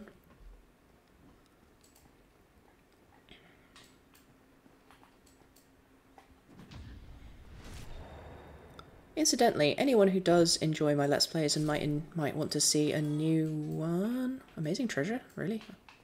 Might want to see a new one at some point. Um, check my YouTube channel in the next week or so. I'm not sure when I'm going to start posting episodes, but I actually do have uh, about seven episodes of a new thing fully fully edited and ready to post. The only reason I haven't started posting them already is that it's a multiplayer game, and I don't want my opponents to like I don't I can't trust that my opponents won't be smart enough to um, look up my channel. Considering I asked them for permission, you know, if I include the the multiplayer match they're in.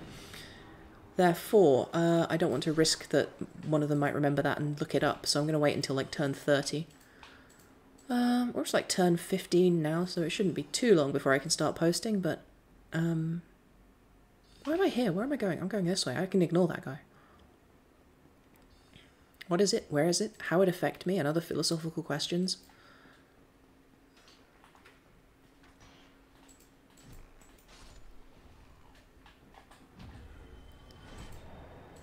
As I, as I most recently demonstrated on the other end of the uh, equation, if you come for the king, don't miss. Now, how the fuck do I get down there? Oh, I have to go down and around with the, the thing and the what's it and the roundy bouty. Which is what I've decided right now that switchback stairs are called. This, this is a roundy bouty. And this, this is a ruffian. It's amazing that I can kill these guys in three hits instead of like five now that I've upgraded this thing. I always forget how much of a difference it makes.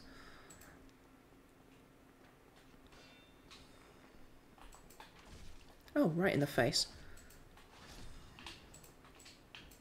That's exactly where my post-COVID chest pains happen. What a what a fascinating coincidence. Right there, doctor.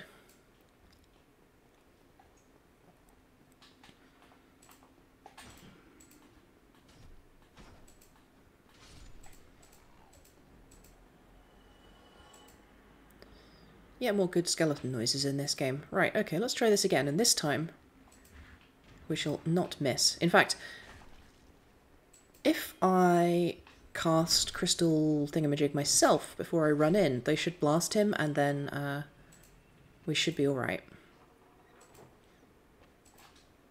So anyway, I started blasting. .jpeg.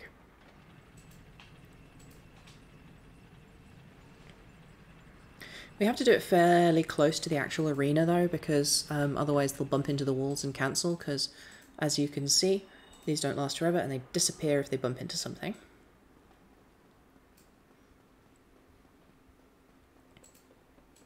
I really like the Crystal Soul sorceries actually. I think that if um, Homing Crystal Soul Mass was, if there was a, a Dark Souls themed bedside light that was just one of these hovering, I would probably buy that. Not least because I'd want to be like, wow, how did you create a magical doodad like that? Yowza. Okay, this is him. For, this is this is the end of him.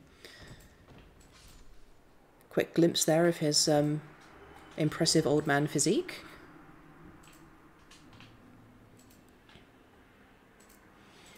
So now we have his good stuff and we can grab something from here, which is the large magic ember, which lets us get enchanted weapons, which is generally the best option for um, picking a, uh, a scaling weapon as a sorcerer. These were players who got turned cursed by the, the big dragon when he was here previously. Yeah, I know, it's kind of sad really. He's got this whole thing about magic and oh, sorcery, the, the pure art, the brilliance of sorcery. What a, what a good thing to exist, and I'm just like, stab. Once, again, once again, I am the back alley sorcerer, you know? I cast organ damage.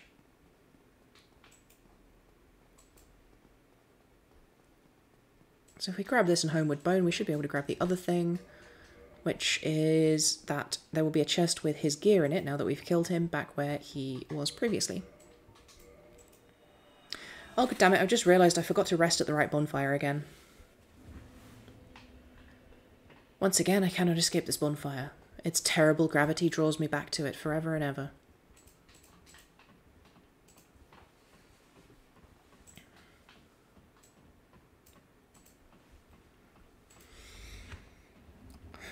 I, I mean, I did use a...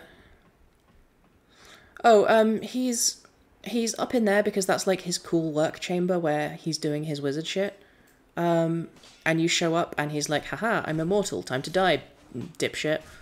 Uh, and then he kills you, and because you're an undead, he knows you're going to come back to life, so he has a special chamber prepared just for you that has a bonfire in it, knowing that as an undead you'll come back to life and instinctively be like, ooh, a bonfire. I love bonfires, I'll rest at this. But then having rested at that bonfire, you can't you know, you'll respawn at that bonfire forever. So then you're just trapped in that cell forever.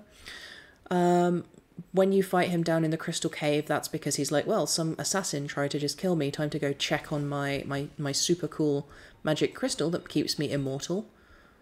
You know, just in case he somehow did some damage to it. Get exploded.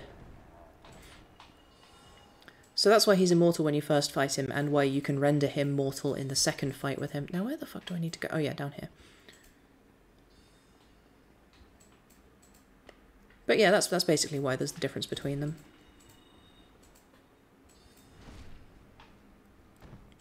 I love how often I kill things by stabbing the air next to them. We've definitely talked about this previously, but um, I personally think that these hollows are basically just held together by by sheer volition at this point. So you know they think they've been stabbed in the kidneys that they don't have anymore, and they're just like, well, guess I'll die. As would be appropriate if I had kidneys.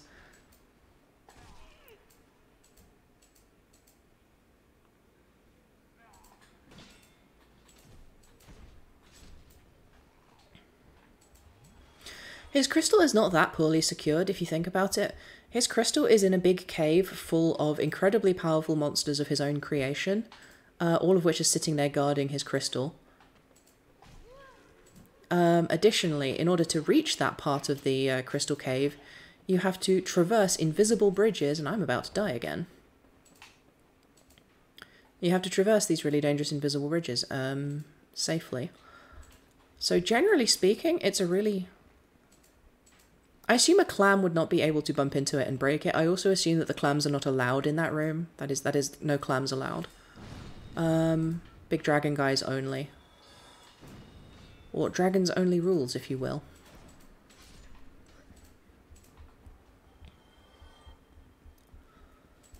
But I mean, the clams mostly kill you by lifting you and throwing you, so um, I, I feel like if a clam just bumbles into that thing, it's probably fine. Um, wait, no, I wanted to go down here. Ah, balls. Become a streamer, they said. It's okay that you have ADHD, they said. Immediately before I forget what I'm doing and what I'm saying constantly. Yeah, exactly. They're just really well house trained. They know that they know that antechamber is yes, crystal chamber is no. Oh, there is a fucking moth in my face. Um, that's gone now. Flying between me and my microphone suddenly. Now, this is probably the only staff upgrade we're going to use in the entire game. The Sorcerer's Catalyst is not actually that effective. Oh, sorry, is not actually that weak. It's honestly, for most of the scaling points in the game, what you're going to be using. Unless you carefully plan the development of your character in order to maximize the capacities of one of the other staves in the game. Uh, generally speaking, you know, you just use the Sorcerer Catalyst, then you switch to this Catalyst if you're going to have a shitload of uh, intelligence, which we are, because, well, we're super smart. See how smart we are? Look at that face. That's not the face of a fool. Anyway, that's all we need for this, so I suspect next time we'll go fight in Izalith. Uh, so... That should be interesting, probably. So if we're going to do that, let's start from the Daughter of Chaos, since that's the closest bonfire. I don't think there's any other uh, other bits and bobs I need to fill in before we go do this.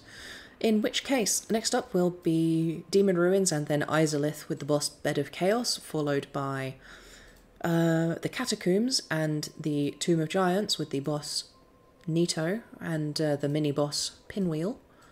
Then after that, we'll head down to New Londo and uh, the sunken part of New Londo, where we'll we will fight the four kings. Uh, before that, we have to go. Am I killing Kirk? I have been killing Kirk whenever I've found Kirk. I can't remember. I think I've, I think I caught both of his previous spawn points. Uh, the next one is in, uh, down here. So yes, I'm I'm gonna go kill him. He's just doing push-ups. This is this is how I do push-ups. It might he might not get much like lift out of it, but you got to bear in mind the extra weight of the egg sac. Um, but yeah, so that's going to be all for tonight. Um, if you enjoy my streams, make sure you drop me a, a follow. Um, make sure you check out my YouTube channel. Thanks very much to all of my Patreon patrons, and thank you all for watching.